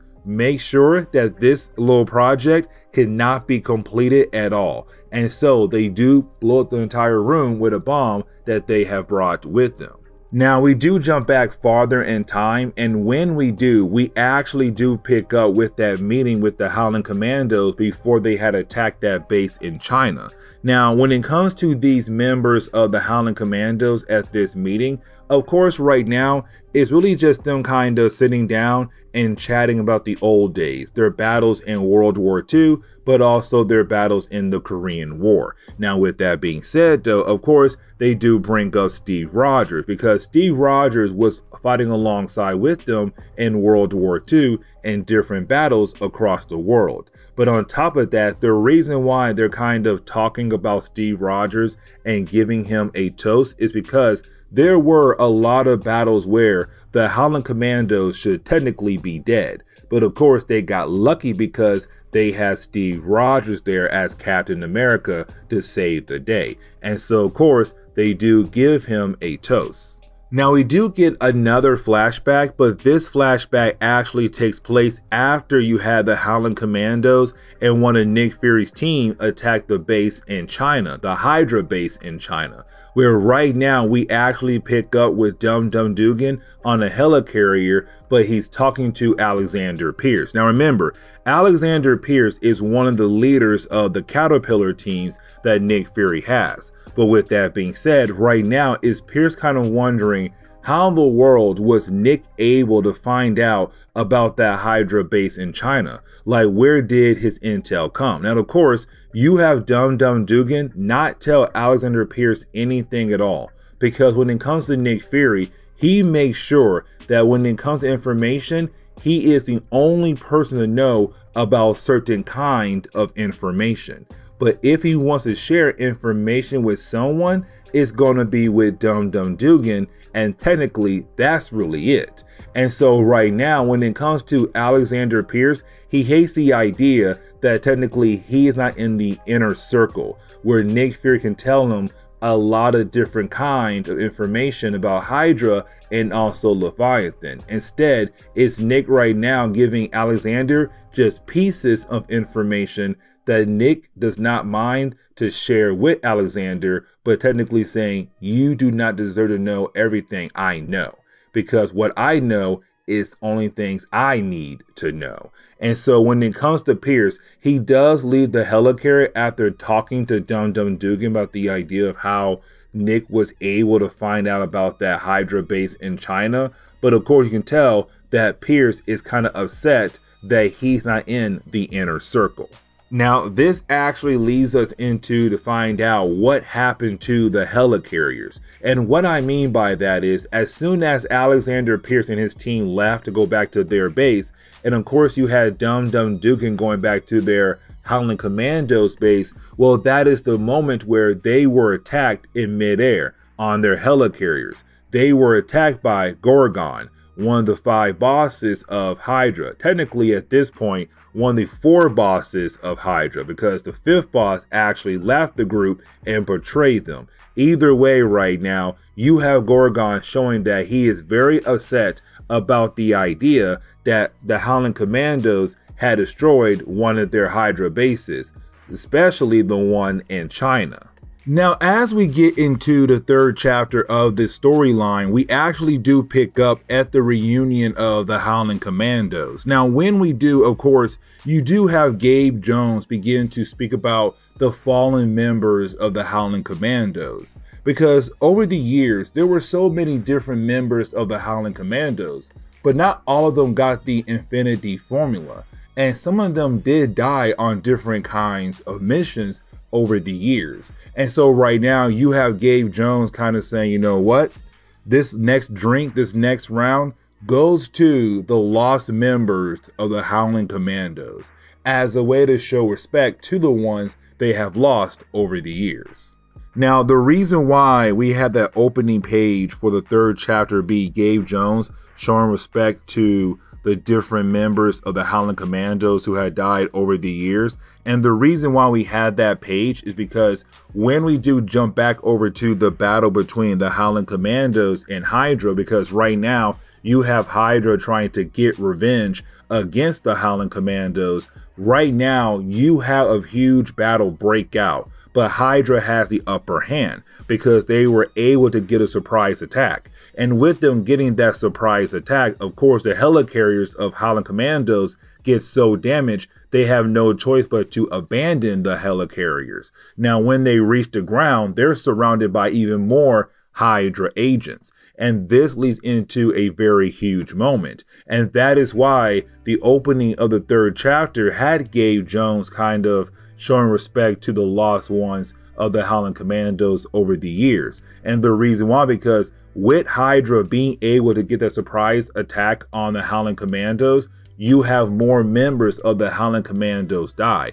First is Eric, but then at the end of this section, we also see Gabe Jones being killed off by Gorgon. And that right there is a huge loss because Gabe Jones was one of the best Howling Commandos members, and now he's gone just like that. And so that was a huge loss for the Howling Commandos. And so getting back over to the present day, we actually do pick up right now with Dum Dum Dugan, Jasper, and also the United Nations talking about the idea of what they were trying to accomplish. Like, what was their end goal here? Because in reality, they went into China illegally and they almost caused an international incident between America and China. But then that's the moment where you have Dum Dum Dugan say, What we were trying to do was something y'all are not trying to do, which is go after these terrorist groups. Because the problem is, though, on your map right now, you have a map that identifies all the different bases of Hydra, all the different bases of Leviathan. And the problem is, though, you guys, America, is not trying to do anything at all to stop these countries who are technically housing these terrorists in their countries. That right there is a problem. But on top of that, these countries are using these terrorist groups for their own personal gain. And that is also a problem right there as well. And you're upset with the idea that Nick Fury doesn't want to work with you guys or work for you guys. And that right there really does bother you. And so that ends the actual meeting between Dum Dum Dugan and also the members of the United Nations. Now, that is the moment where we actually pick up with the UN counselor returning to her office. Now, when she does return to her office after the big meeting with Dum Dum Dugan and also Jasper, well, that is the moment she is confronted by Senator Robert Walston. Now, when it comes to Robert Walston, he wants to know what in the world's going on. Like, he wants an update with Dum Dum Dugan and Jasper. And she says right now that technically they're being held in a maximum security prison, but unfortunately, they're in legal limbo because at the same time, they're having a hard time finding a way to actually convict them, but at the same time, they're afraid to let them go because right now their end goal is to hopefully get to Nick Fury. And so right now you have Robert Walston say, I need you to continue to question the commandos, to figure out what they are hiding, to figure out what they are plotting to do.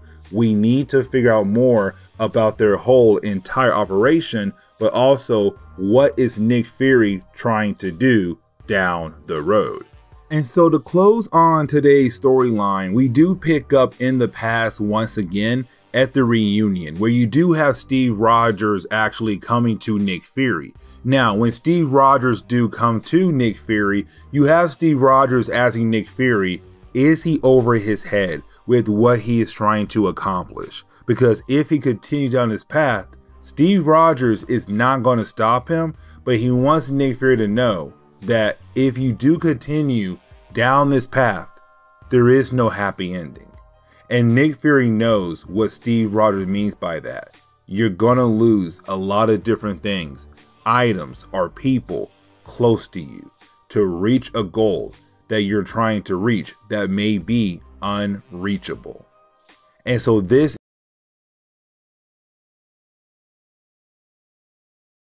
Now, here's the thing about Volume 5. When we actually jump into Volume 5, it has been six months since the ending of Volume 4.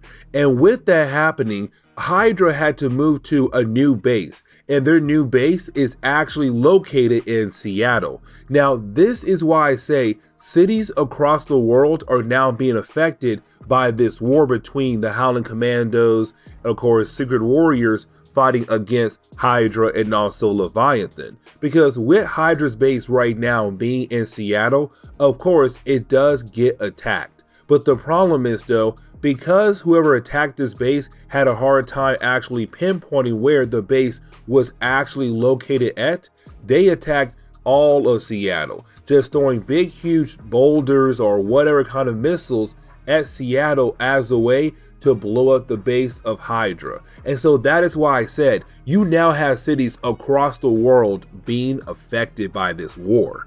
Now that is the moment where we actually pick up with Nick Fury. Now when we actually do pick up with Nick Fury, it's Nick right now kind of giving us an update about how bad this war has truly gotten between all three groups. Because apparently with this war right now taking place across the world, you have a lot of deaths. And not just soldiers, but also innocent people. London has been attacked. Paris has been attacked. Colombia has been attacked. Seattle now has been attacked. And you're talking about the idea that soldiers and innocent people are dying left and right because of this war. Now, there was a moment where a ceasefire was actually reached between Hydra and also Leviathan. The problem was, though, one of the leaders of Leviathan was killed off.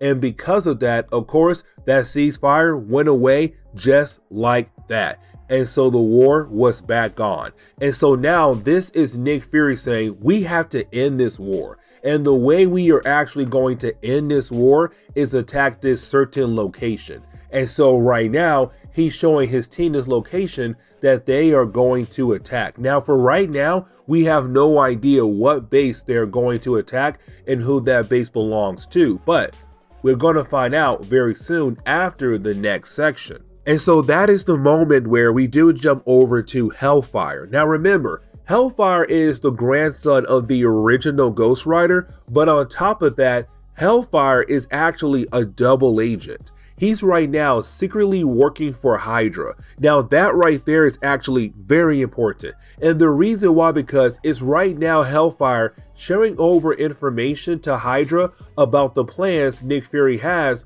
with the Secret Warriors. And so right now it's Nick Fury technically being played once again. And the reason why I'm saying he's being played once again because let's not forget the reason why this series kicked off is because Nick Fury found out that the entire time S.H.I.E.L.D. was up, S.H.I.E.L.D. was being controlled secretly by Hydra. And so right now, with him kind of leaving S.H.I.E.L.D. behind and believing that his team, the Secret Warriors, was secure, that no one was a double agent, he has no idea that Hellfire is actually a double agent. And matter of fact, you have Hellfire right now kind of second guessing the idea of betraying his team. Because let's not forget, Homeboy fell in love with Daisy Johnson, his team leader, but either way, he has no choice but to share information over to Hydra. Either way, he does tell one of his guys who work for Hydra what is Nick Fury actually up to next. And apparently, they are going to attack a base known as Gehenna. Now we do kind of find out that Gehenna is actually a base that is owned by Hydra. And so that is what Nick Fury meant earlier about ending the war. He's right now trying to take out one of the two enemies, Hydra or Leviathan. And right now, technically, Hydra is the weaker target. And so what he tells his team right now is that they are going to attack this base that's being controlled by Hydra. The problem is, though, they can't go in the front door and they can't go in the back door either. And so, what they're going to do is actually teleport to another secret base that Nick Fury has but this base is actually out in space. And the reason why they're going to do this is because with this space base, they do have a way to kind of zoom in on the actual base. And the reason why, because Eden is going to teleport everyone into the actual base. Now, for him to do that, he has to see where he's actually going. Because when it comes to Manifold, aka Eden, at this point in Marvel Comics, he wasn't that powerful just yet. Now, later on, he will become very powerful, but for right now, he's not. And so, for him to teleport, he has to see where he is going. And so, right now, it's Nick saying, You are going to teleport us into the base so we're able to actually do a surprise attack on Hydra and to hopefully take him out once and for all.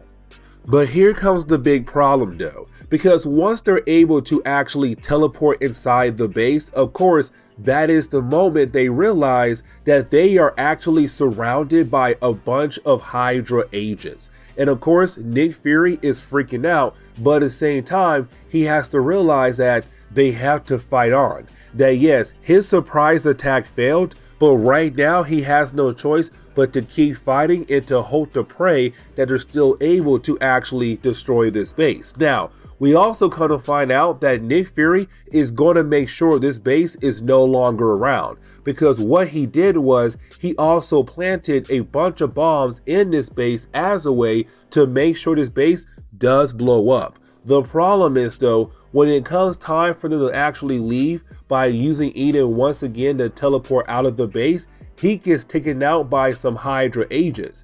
And so their one way out just disappeared just like that. But to make matters worse, right now our heroes were only fighting against the agents of Hydra, the henchmen of Hydra. But that is the moment they are confronted by the bosses of Hydra. And so right now, this fight just got very intense. And with Eden being knocked out, technically right now, they have no way out. Their goal was to teleport out of here before the bomb blew up, but right now it seems like they might die alongside with the rest of Hydra when the bombs do go off. And so, getting into the second chapter of this storyline, we actually do pick up right now with the Secret Warriors fighting against the forces of Hydra. Now, Nick Fury's plan was not actually to fight against the forces of Hydra. Their main goal was to actually sneak inside the base, set the bombs, get out of the base before the bombs blew up, and that was it. And so right now, Nick Fury's plan is falling apart very quickly. On top of that, now he's kind of like, listen, my original way out of here was manifold. And with him being knocked out, we no longer can teleport out of here. So we have to find a different way out. Now, that is the moment where you actually do have Phobos, the son of Ares, the god of war, tell Nick Fury, listen, I saw the future, and I know that we are going to get out of this mess. But for us to get out of here, we have to actually take that door right there.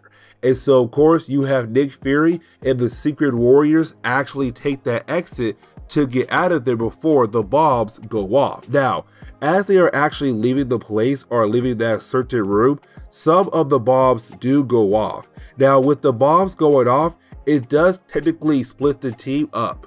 And what I mean by that is there was a walkway, but because the bombs went off, that walkway fell apart. And so on one side of the walkway, you have most of the Secret Warriors there. On the other side of the walkway, it's Nick Fury right now with Phobos about to be attacked once again by Hydra, and so they have to find a way to actually cross over to the other side.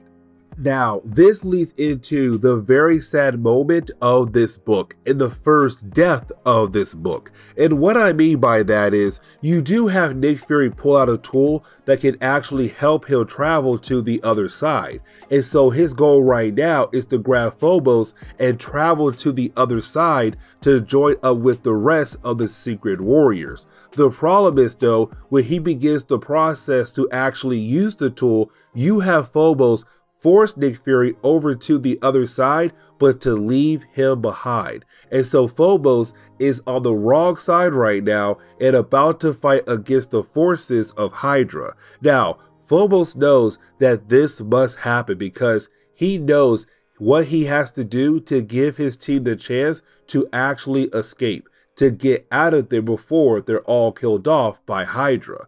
And so, with that being said, right now you technically have Phobos getting ready to fight against Gorgon. Now, Gorgon is one of the five big bosses of Hydra, but let's not forget his mutant ability is that if you do look into his eyes, you get turned into stone. And so, right now, he's kind of like, listen, even though I have that mutant ability, I'm a great fighter. I'm a great sword fighter, which means that I'm going to fight against Phobos and kill you off.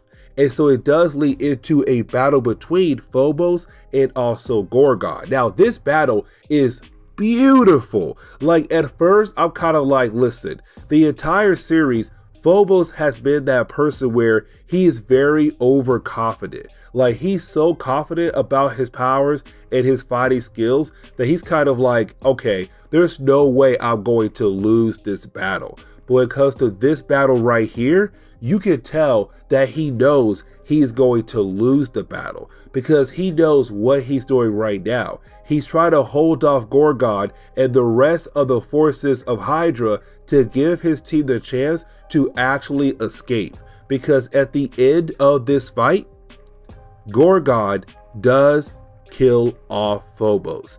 And so that is the first death in this storyline, and a whole lot more to come.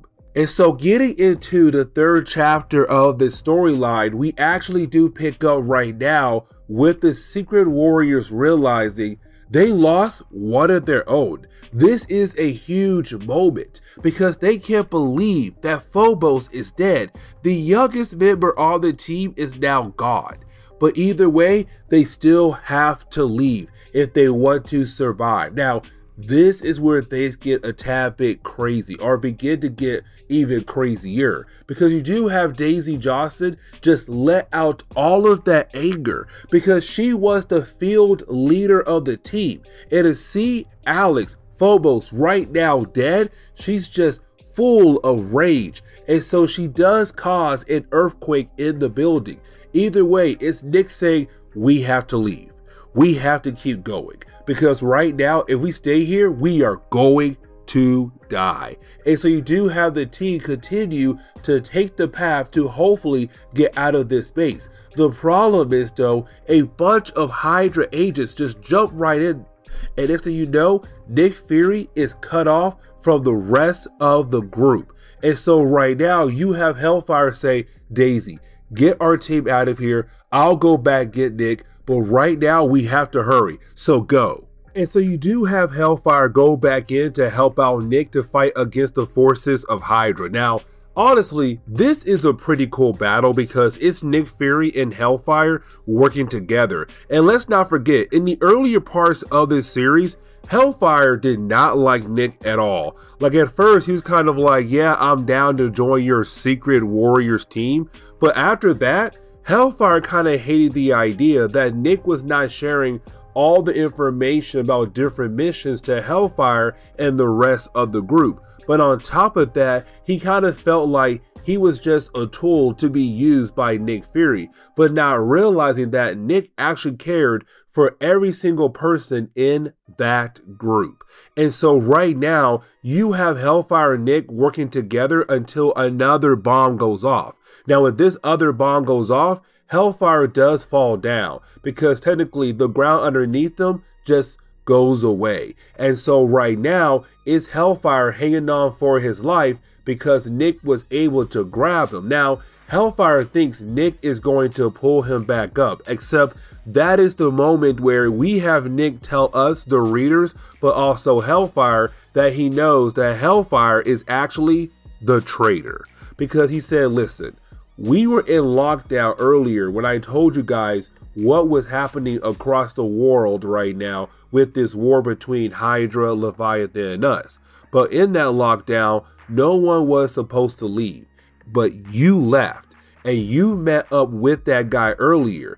And guys, he did. We saw in the earlier parts of the storyline. Nick was on the outside of the building listening into that conversation.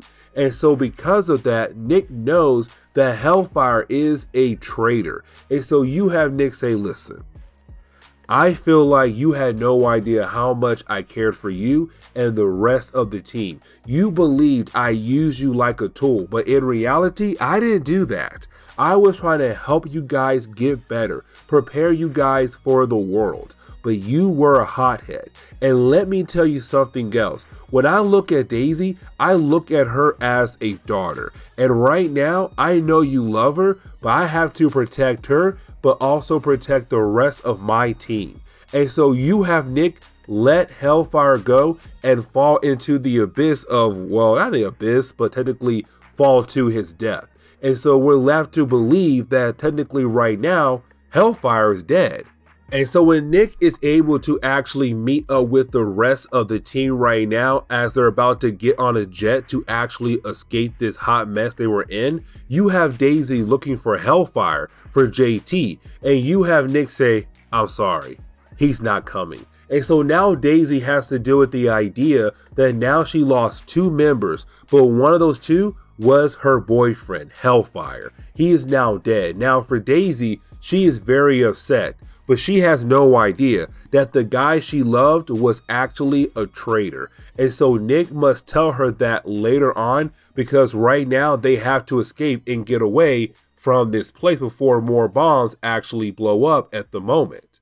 But that is the moment where we do jump over to Kraken and also Baron von Strucker. Now, when we do, we do see the two characters right now getting report that technically Nick Fury and the rest of the Secret Warriors were able to escape. Now, I want to mention real quick, I didn't tell you guys how in the world Nick Fury and the rest of the Secret Warriors were able to escape by finding some random jet because that actually right there leads into a later point in the storyline where the random jet came from. Either way, you have Baron von Strucker and Kraken, the two bosses of Hydra right now, very upset about the idea that technically Nick Fury and the rest of the Secret Warriors were able to get away. And so that is the moment where you have Kraken actually begin to beat down on Baron von Strucker because we have to remember this is not the original Kraken. The original Kraken died a couple years ago.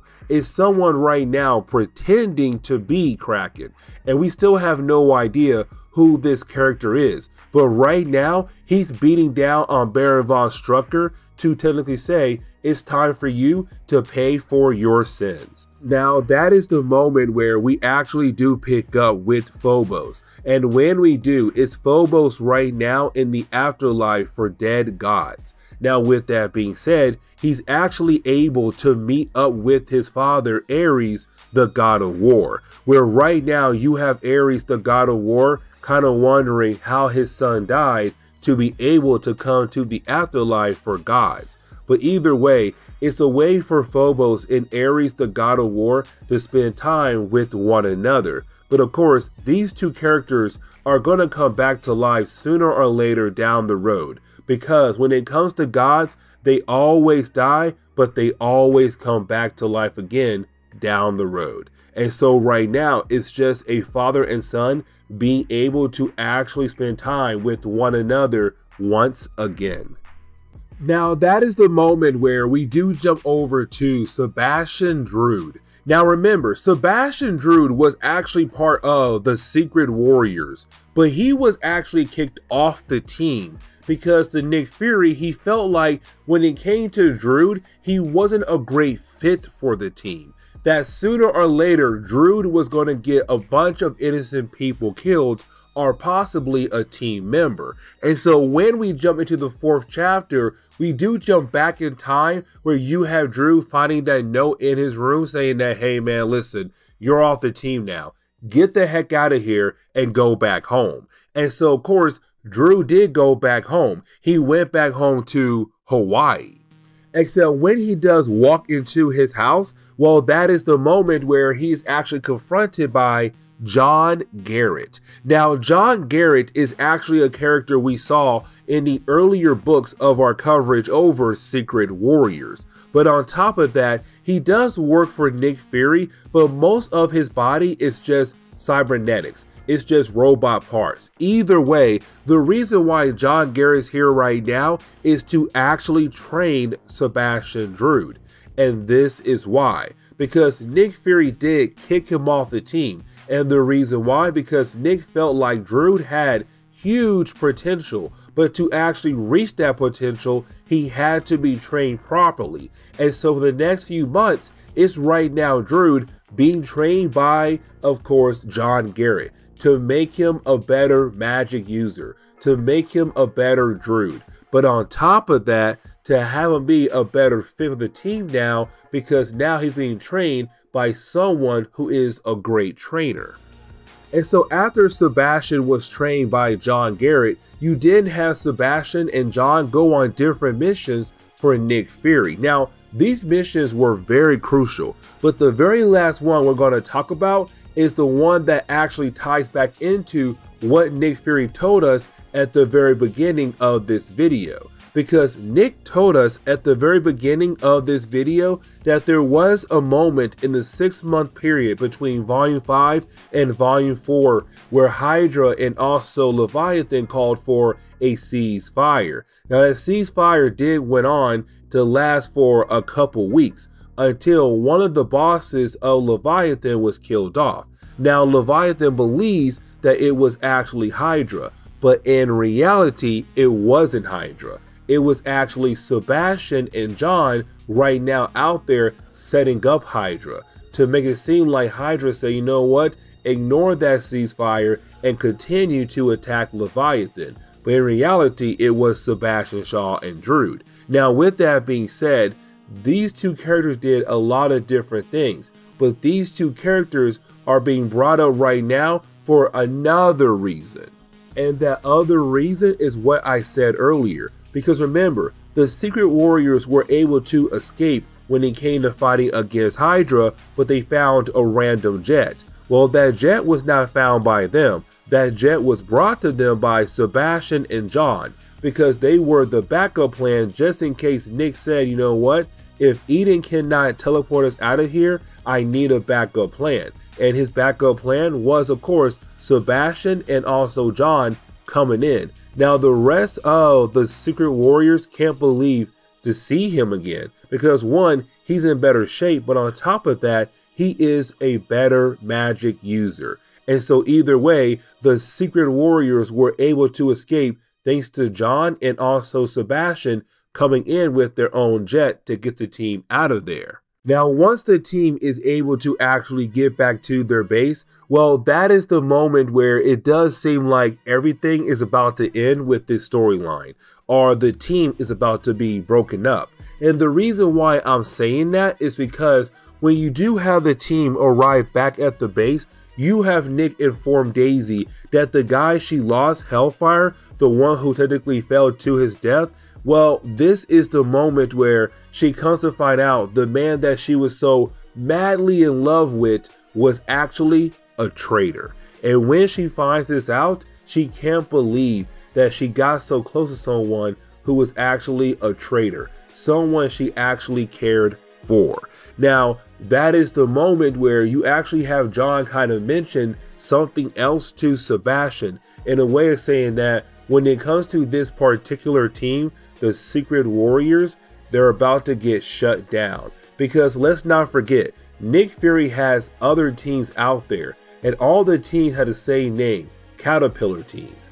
Either way, there are three of them out there, and Daisy's team, the Secret Warriors, is just one of them. But right now, it's John saying, your team is technically right now off the board. you are no longer a team. I'm sorry, but it seems like you guys are about to go back home and enjoy your regular lives once again. Now, when we get into the final chapter of this storyline, we actually do pick up with Nick Fury right now looking over two graves. Now, we have no idea who these two graves belong to, but it seems like it is very recent. And so right now, it's Nick Fury kind of upset about the idea that he lost two people. Now, it could be Phobos because he did die just in an earlier chapter. But the question is though, who does the other grave belong to? Because it could be Hellfire as well, but Nick Fury did not like Hellfire because Hellfire was a traitor.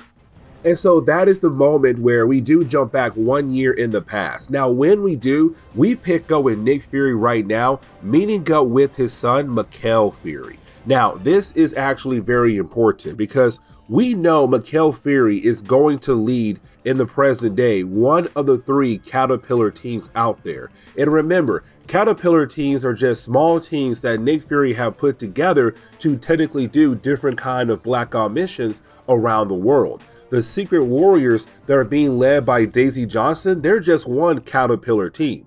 Either way, we know Mikhail Fury does lead one of those teams. And so this whole chapter right here is telling us how Nick was able to bring in his son and then you have Mikhail Fury go around the world to find other people to bring into this organization, to his Caterpillar team. Now, I could sit here right now and explain every single character on Mikhail Fury's Caterpillar team, but I'm not going to. And the reason why, because these characters are cool in some kind of way, but they only appear like a handful of time in Marvel Comics down the road after this storyline. And so, unfortunately, I'm not going to sit here and be like, okay, so here's this guy and their powers, and this girl and this powers. Instead, I'll be like, listen, he went to different locations around the world. He found different people that Nick Fury believed would be a best fit for his Caterpillar team, and then bam, Mikhail Fury had his own team, and now they can begin the process of actually working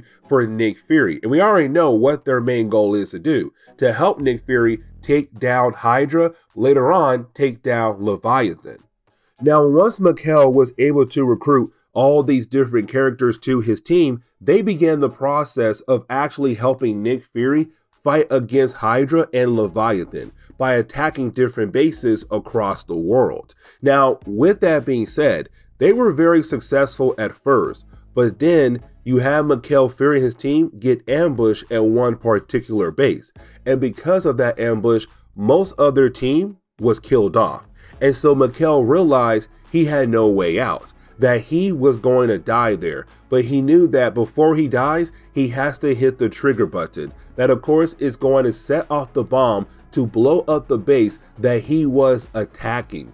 And so, right now, this section right here, it takes place two days prior from the present day, which means that now we know at least one of the graves belongs to Mikhail Fury in the present day with Nick Fury at the gravesite. Because you do have Mikhail hit the button, the bomb blows off, and of course the base goes bye-bye, but unfortunately Mikhail Fury is also dead as well. And his final words were, Dad, I did my best.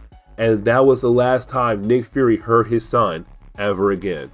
And so when we get back to the present day with Nick Fury, we do get confirmation that technically at the moment, he is at his son's grave, Mikhail Fury. But at the same time, there are other graves there as well. It's Mikhail's team. They all died and they all were buried in the same place in this graveyard. And so right now it's Nick Fury feeling sad because these young people believed in him. They believed in him so much, but unfortunately he led them to their death.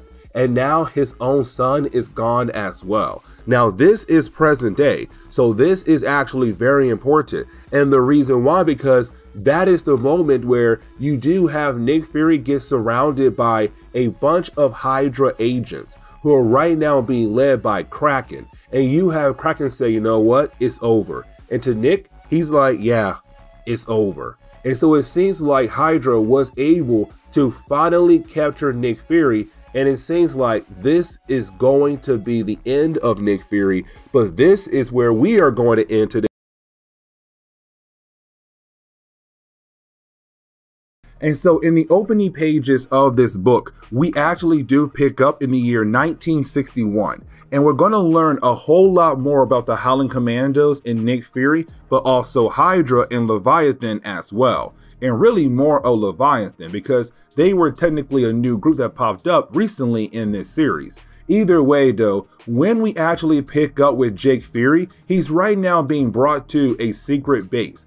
Now, he has no idea where this base is actually at. And the reason why, because he was blindfolded. Either way, though, once he does arrive at the entrance of the base, you then have the guard of the base say, please say your name. Now, this is Jake Fury thinking, okay, you are my name and what I do. So my name is Jake Fury, and I am, but right before he's able to actually explain what he does, he's actually cut off by the guard. And the guard says, no, use your actual code name for this meeting. And you have Jake Fury say, fine, Fury, aka Scorpio. And so because of that, he was able to open up the entrance and go inside this secret base. And so that is the moment where you do have Jake Fury go inside the secret base. Now, when he does go inside the secret base, that is the moment where he's actually in a special meeting. And this right here is giving us our first look of a brand new group called the Great Wheel of Zodiac. Now, with that being said, though, the Great Wheel of Zodiac is going to explain everything that has been happening in the entire run of Secret Warriors. This is Jonathan Hickman wrapping everything up with a nice little bow. And so, with that being said, when it comes to the Great Wheel of Zodiac, this new group is basically a bunch of men from different groups in Marvel Comics coming together because one particular guy called for this meeting. And we come to find out that you do have people from S.H.I.E.L.D. or the Howling Commandos at this point in time. And that would be Jake Fury, Nick Fury, John Garrett, Cornelius Van Lunt, Dum Dum Dugan, Thomas Davison. Now, here's the thing though, you also have leaders from Hydra as well, and that would be Baron von Strucker and Daniel Whitehall. You also have leaders from Leviathan as well, so of course the Magadan and also Orion. But you also have a leader from the hand there as well. Now, the hand leader is actually brand new. This is his first appearance and that will be Shoji Soma. Either way, all these guys came together because one particular guy called for this meeting, and that will be Leonardo da Vinci. Now, here's the thing though, he does not tell them or us that technically that is his name, but honestly, it is him. But either way, he says everybody here has a code name, and your code name is actually a zodiac sign. With that being said, the reason why I called you guys here is to help you guys, but to also have you guys help me because I feel like we can help each other. I'm trying to achieve something great here, but at the same time, so are you guys. You guys are trying to win a war, a secret war, a spy war. I can help you guys win your war. But here's the thing though, you have to help me first. But here's a here's one rule you are not allowed to take any kind of notes about our meetings inside this place at all. And so if I see a pen and paper, I'm going to be very upset and replace you with someone else.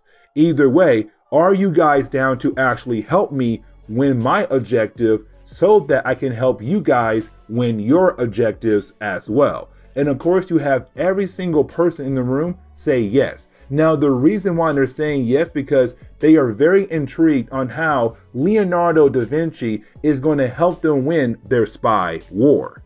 And so after the meeting, you then have Leonardo da Vinci break the group up into three different teams, and they all went on different missions across the world to collect different items that can actually help out Leonardo da Vinci. But once all the items are here and then they're able to actually bring those items together to help him complete his objective, then on top of that, he'll help them with their spy war. And so we do see one team actually go over to Egypt. Now, the reason why they go over to Egypt is because there was a spaceship that had crashed there a long time ago. And that spaceship belongs to the alien race known as the Brood. Now, the Brood is an old Marvel comic thing, and when it comes to the Brood, they are technically this bug alien race that goes around and tries to conquer different planets in the most messed up way. Now, honestly, I would love to dive deeper into them more, but right now we have to continue on. Either way, we come to find out on the Brood spaceship, there is some kind of power source that Leonardo da Vinci wants from that spaceship. And so, of course, Team 1 went over to Egypt to find that spaceship to find the power source, which they do. Unfortunately, they do run into an army of the Brood, and so now they have to fight their way out of there and bring that power source back over to Leonardo da Vinci. Now, team number two was actually sent over to a chapel in France. And the reason why, because in that chapel, there is another special item there. Now, technically, we are not told what this item is just yet. In matter of fact, we learn about the item down the road. Either way, though, you do have the team arrive at the chapel, and of course, you do have the nuns very upset about the idea that there are guys just walking in with guns like it's no big deal. Either way, they do go into the underground area of the church, and when they do, they find this coffin. Now, when they open up the coffin, of course, they do find the particular item that Leonardo wanted, but the problem is though, out of nowhere, a bunch of tentacles just come out of nowhere and begin to grab Jake Fury and attack his group as well. Now, the third team went over to the Zagros Mountains. And the reason why, because there was a secret base that was being guarded by a bunch of robots. Now, when the team arrives at this base, of course, they break in and we kind of find out what did Leonardo da Vinci wanted from this particular base. And right now we see that there are a bunch of containers just there. Now we saw these containers, matter of fact, in the earlier stories of Secret Warriors. And we have to remember, those containers were basically used by Leviathan as a way to keep their warriors in stasis for a long period of time until the right time to come out of stasis. And so now the question is, how did Leviathan get their hands on the containers? Did they double cross the Great Wheel of Zodiac? Either way, their mission is accomplished and they bring the containers back over to Leonardo da Vinci. And so once you have all the three teams come back together at the meeting spot for the Great Wheel of Zodiac, well, that is the moment we kind of find out that each group was able to bring back the item that they were sent out there to retrieve, except Jake Fury's group. And this right here is going to begin the process of portrayals in the Great Wheel of Zodiac. And what I mean by that is you have Team 1 say, hey, we found the power source of the Brood spaceship. Team 3 says, hey, we found the containers that you were looking for. But when it comes to Team 2, Jake Fury's team, they're all like, hey, we didn't find anything at all. Now, that right there is not true because we saw them. When they had opened up the coffin, something attacked them. And of course, they had survived that attack to be here right now. But the question is though, what did they find? And matter of fact, Leonardo da Vinci knows that Jake Fury is basically lying about saying we didn't find anything at all. And so this leads into Leviathan beginning the process of actually portraying the Great Wheel of Zodiac. And the reason why I'm saying that because once you have everybody figure out what Leonardo was trying to do with the containers, but also the power source of the Brood spaceship, we come to find out that he was trying to create his own super soldiers. So let me explain. Originally, the containers could keep someone in stasis and they could stay frozen in time for however long until they're actually woken up. But here's the catch though, if those containers are basically hooked up to the power source of the Brood spaceship, it can then actually change them while being inside the containers. And so imagine this, if you're inside a container, you're right now on stasis, but you're also being turned into a super soldier. And so that what it seems like when it comes to Leonardo da Vinci, what he wanted to do, to create an army of super soldiers. But here's the problem though. Leviathan betrays the group. And so this moment right here explains how Leviathan was able to get their hands on the containers, but also the power source that belongs to the brood. And so because of that, they began to attack the rest of the Great Wheel of Zodiac and being able to escape with the containers as well. But this is also the moment we see that Nick Fury gets his eye shot, which explains why he only has one eye because of this fight right here. And so, with that being said, Leviathan had betrayed the great wheel of Zodiac and got away with the containers, but also the power source that came from the Brood spaceship. Now, one month later, we come to find out that Hydra and the Hand actually joined forces. Baron von Strucker actually teamed up with Grandmaster Soma. And the reason why? To get revenge against Leviathan for basically betraying the group. Now, of course, they do find the base that belongs to Leviathan. And when they do find the base of Leviathan, you had Hydra in the hand attack the base. Now, it did lead into a very huge battle. But here comes the big problem though. And not really a problem for Hydra nor the hand, but the problem for Leviathan. And the reason why, because Orion, the leader of Leviathan, he does get stabbed by Baron von Strucker. Now, right after he was stabbed, you didn't have the Magadan try to put Orion inside the machine to basically heal him up in one of the containers. The problem was though, when he did that, you had Grandmaster Soma take the power source that came from the Brood spaceship away from the containers.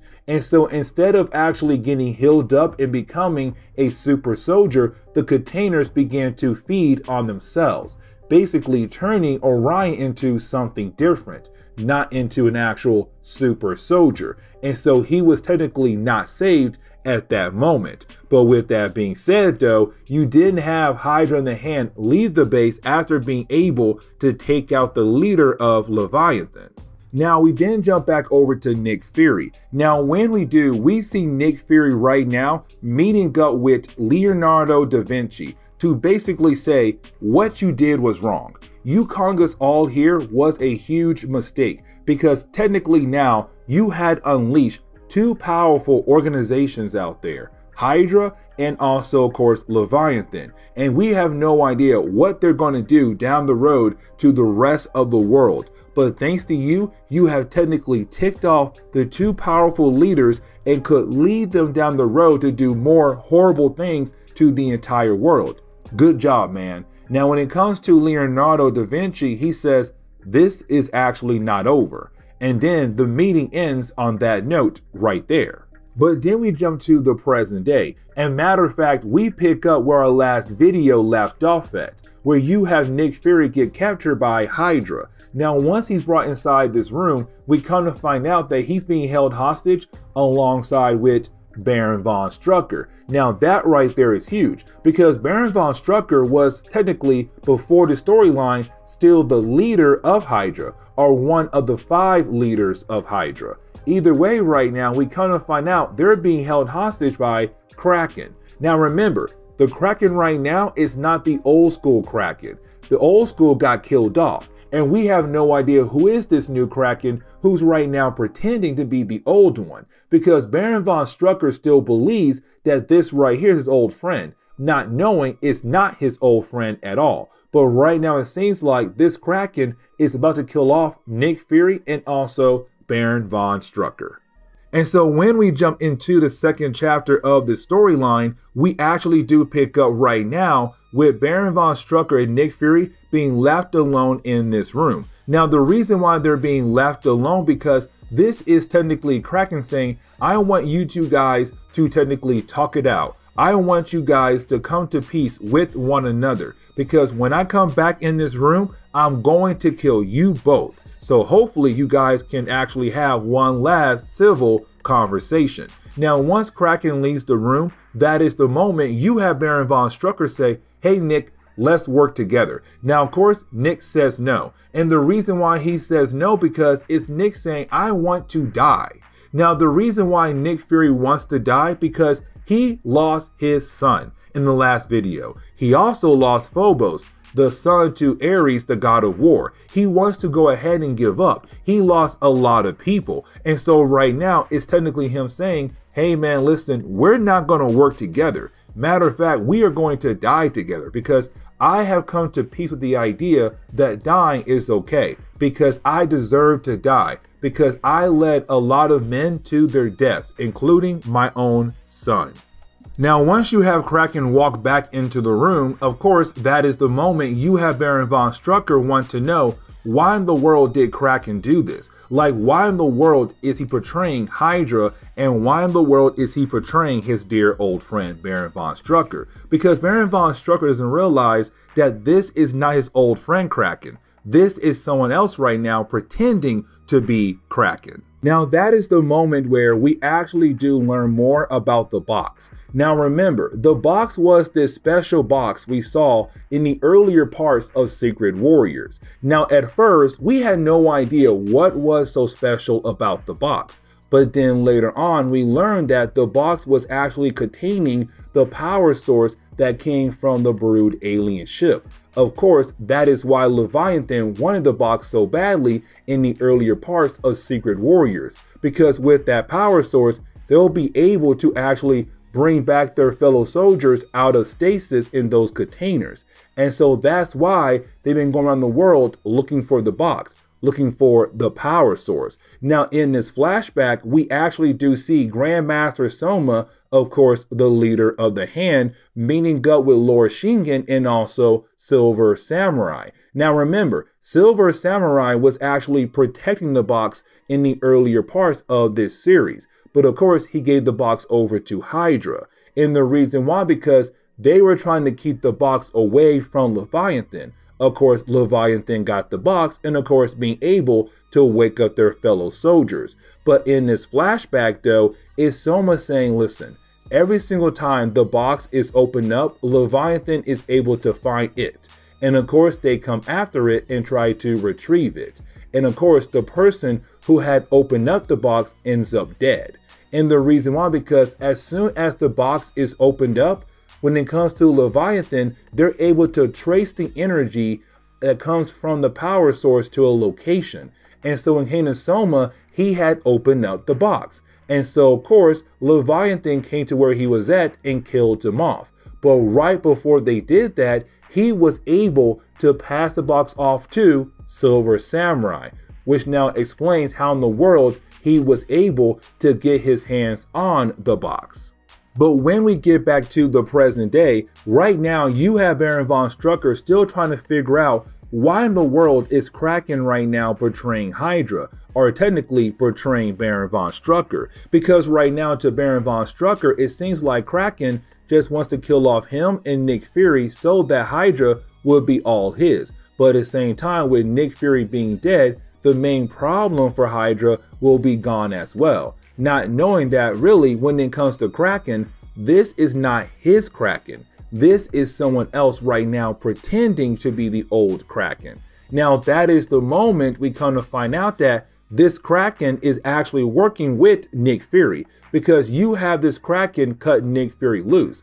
Now, when it comes to Baron von Strucker, that is the moment he realized, oh my God, you're not my friend. You're not the old school Kraken. You're someone else. Who in the world are you? And that is the moment you have the reveal of this Kraken we've seeing in the entire series. And we come to find out it is Jacob Fury, the brother to Nick Fury. This entire time we have been seeing him, he has been pretending to be Kraken as a way to kind of help Nick Fury bring down Hydra.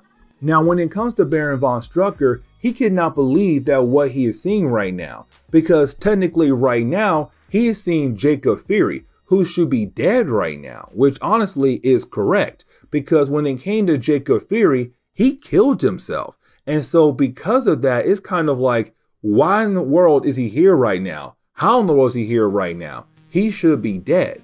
And that is the moment you have Nick say, no, you did watch my brother die but that was not actually my brother. That was actually a life model decoy that you watched die. And so then you have Nick tell Baron von Strucker, think back to the days of the Great Wheel of Zodiac, where we had to go on different missions. The other two teams came back with their objectives. We did not. We told you guys we didn't find anything, but that right there was actually false. What we found was the first prototype of the life model decoy. And that day, the life model decoy actually took form of my brother, Jacob. And so the entire time, you were watching the life model decoy, not my real brother. And so ever since that day, we got better in building life model decoys. Either way, though, the person you see right now, yeah, that is my real brother. The one you saw die years ago, yeah, that was the life model decoy. But then we come to find out there was one other person who was also a life model decoy that was used as a way to trick Baron von Strucker. Because we come to find out Thomas Davidson was actually a life model decoy. So let me explain. Thomas Davidson is actually the guy who had apparently betrayed S.H.I.E.L.D. and joined Hydra, and then created a system that Hydra could use to control S.H.I.E.L.D. But in reality, that system was not actually made to help Hydra control S.H.I.E.L.D., it was the other way around. It was a system to help S.H.I.E.L.D. control Hydra. And when it came to Thomas Davidson, it was a life model decoy that was technically working for Nick. And so, in reality, in this entire run, in this entire series, Hydra has been actually working for S.H.I.E.L.D. S.H.I.E.L.D. has been controlling Hydra. Nick Fury has been controlling Hydra. It's not the other way around. And so right now, it's Baron von Strucker realizing, oh my gosh, I've been I've been played this entire time. And so when we jump into the third chapter of this storyline, it does lead into Nick Fury saying, you know what, because you now know everything, it's about time for you to basically die. And so I'm going to kill you off. Now, when it comes to Baron von Strucker, he's kind of like, you know what? Even though you were able to play me, at least I will know that I was able to actually take away things away from you. Talking about his son and also other soldiers that Baron von Strucker had killed off. Now, that is the moment you have Nick say no. Actually, you did not take anything from me at all. I took things from myself. I let things go on for too long. And so, because of that, my son is now dead. His entire team is now dead, all because of me. And so, no, in reality, Baron von Strucker, you did nothing to me at all. It was just myself and my stupidity that led to the death of my son. And so that is the moment you have Baron von Strucker get shot in the head by Nick Fury. And so technically right now, he is actually dead. But then we pick up with Leviathan. And when we do pick up with Leviathan, it's right now them saying we should go ahead and attack the last few bases or the last few leaders of Hydra and finally get rid of them. The problem is though, while they're getting ready for their next attack, that is the moment they begin to watch all their different soldiers just explode left and right. And so, of course, that means something has happened to them once they were able to wake up from the containers, and now whatever happened to them is actually taking effect. And of course, killing them off one by one. And of course, when it comes to the leaders of Leviathan, they know it has to do with Nick Fury. But then we jump over to the United Nations Security Council. Now, when we do, we see them right now talking about the idea of helping other countries that were actually affected by the war between Hydra and Leviathan, which honestly is a great thing. But here's the thing though, when it comes to the United States, they're kind of like, listen, we're down to help out. And matter of fact, we had already put some money into this project, but we want to be the ones who actually look over this project to make sure it actually runs correctly. And matter of fact, when it comes to the US president, he had already selected the person to be in charge of this project. And of course, that will be Senator Ralston. Now, Senator Ralston is actually a founding member of the Howling Commandos. And so that shows you right there that Nick Fury is still playing games right now he's putting guys in different positions to kind of help him technically make sure the world is safe. And so when it comes to Senator Ralston, he right now is going to be the one to run this project to make sure it does run correctly and smaller countries are actually helped out. But then we jump over to Berlin. Now, the reason why, because we actually do pick up right now with Contessa. Now, remember, Contessa was actually an old lover of Nick Fury, but at the same time, though, we come to find out that she was actually secretly working for Hydra, but at the same time working for Leviathan. She was a triple agent, y'all. So at first, it's Nick saying, yeah, she's on my side, she's part of S.H.I.E.L.D. Nope, she's actually with Hydra. Nope, she's actually with Leviathan. Either way, right now, in Berlin, she does walk into a federal agent office. And when she does, of course, this is her right now saying, I'm turning myself in because I realize we have lost. And there's no point of running or trying to hide from you guys and Nick Fury. But then we jump over to Daisy Johnson, who's right now in Hawaii. Now remember, Daisy Johnson is the field leader for the Secret Warriors. But let's not forget, this entire story so far, we have not seen them at all. This has been a heavily focused Nick Fury story. Either way, though, it's right now Jacob Fury finding Daisy and handing her a letter. He's all like, listen, I have no idea what Nick said in that letter, but I was told to give the letter over to you, so here I am. But right before you have Jacob Fury leave, you have Jacob tell Daisy that Nick told him that she was the best person that he had ever trained, meaning that he really does care a lot for Daisy Johnson. But then we come to find out that Daisy Johnson is actually not alone. That matter of fact, she's with Sebastian, and Sebastian is another member of the Secret Warriors. Either way, that is the moment where you do have the two characters looking at the news. And with them watching the news, of course, you have the news announce the new program that was technically started by the UN Security Council. And this new program right now being led by Ralston. Of course, the one of the members of the Howling Commandos who works for Nick Fury. And of course, when you have Sebastian and Daisy see this, they're like, oh my gosh, this is actually real. But then she reads the letter that was given to her by Jacob Fury that was written by Nick Fury. And right after she reads the letter, she's kind of like, hey, pack your bags. We have to go on a trip. Now, at this moment right now, we have no idea what was said uh, in that letter, but of course, we'll find out in the next chapter. And so that is the moment where we actually jump into the final chapter of this storyline. Now, when we do, we actually do pick up right now with Nick Fury meeting up with Contessa in the interrogation room. Now, of course, remember, these two characters used to be lovers, and he was so hurt when she technically betrayed him, but also realized that she was a triple agent. Now, with that being said, this is the moment where we kind of find out what exactly happened to the soldiers of Leviathan. Because remember, earlier they just blew up. And when it comes to Contessa and also Orion, they believe that technically they blew up because of something Nick Fury did. And they're right, it was Nick Fury's doing. And matter of fact, you have Nick Fury say, yeah, it was me. Remember the box, you know, the box, where you guys were looking for the power source that came from the alien ship, the Brood.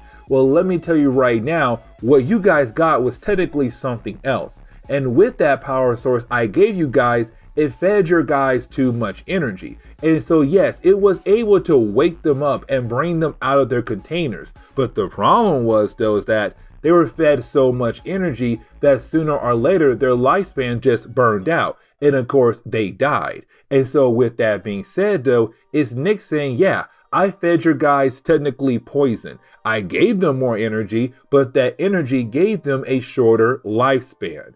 And so that is how I was able to actually defeat Leviathan and get rid of you guys once and for all. And so for Contessa, it's like, dang, I lost to Nick Fury. Like, he is the best spy in the world. And he's right now showing why he is the best spy in the world.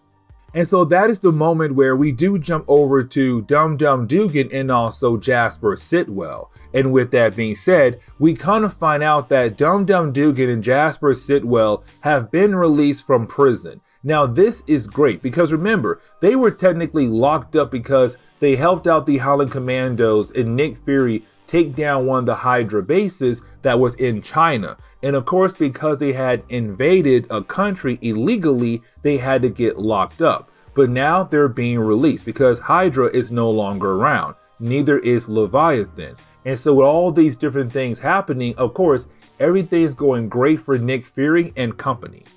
Now, that is the moment where we actually do learn what was in the letter that was written by Nick Fury but given over to Quake, aka Daisy Johnson. And honestly, it's just Fury saying, I'm sorry. I'm sorry for the way I treated you, but also the rest of the team, but especially you, because I looked at you as a daughter, and I feel like I let you down. Even though this mission was successful, I feel like I let you down. And I really wish I can reset time and do this all over again and treat you the way I wanted to treat you as a daughter. And so it's Nick Fury apologizing, but he does tell her, I wish for you and the rest of the Secret Warriors to actually reunite and become a superhero team again, except this time I want you to work with the Howling Commandos and go out there and do great things for the world. But please, please, ask the heroes one more time to come together and be a team once again to save the world because I feel like you guys are ready to save the world. And so that was what's in Nick Fury's letter. And so then this leads into Steve Rogers meeting up with Nick Fury. Now, when they do meet up, this is Steve Rogers kind of upset with Nick Fury, but at the same time kind of proud of Nick Fury. And what I mean by that is, is Steve Rogers saying, look at what you did. Look at what you accomplished. It's great and all, but at the same time though, you did too much. This could have been handled so differently, so much better. Unfortunately, you did not do those things. But I'm happy to see that you are alive and well and that you were able to actually accomplish this mission. But it's also Steve Rogers saying, You will never do this again. Because if I find out you're doing all these things behind my back again, I'll make sure to stop you and make sure you do things the correct way. And either way, it's Nick agreeing with Steve Rogers and the two characters just getting along and enjoying this moment together. Now, the last page does tell us that even though when it comes to Contessa being a triple agent, Nick Fury still cares for her a lot. And so, because of that, we do see at the end of the book, Nick Fury is plotting to actually help Contessa break out of prison to be once again a free woman. And so we do see him smile, and we already know he has some master plan to actually free her. But this is where we are going to end today's comic book video. So please leave me a like down below and subscribe. Also, if you have any suggestions on books I should read, well, please let me know in the comments below because you never know, your suggestion could be a future video down the road. But guys, I'll see y'all next time. Later.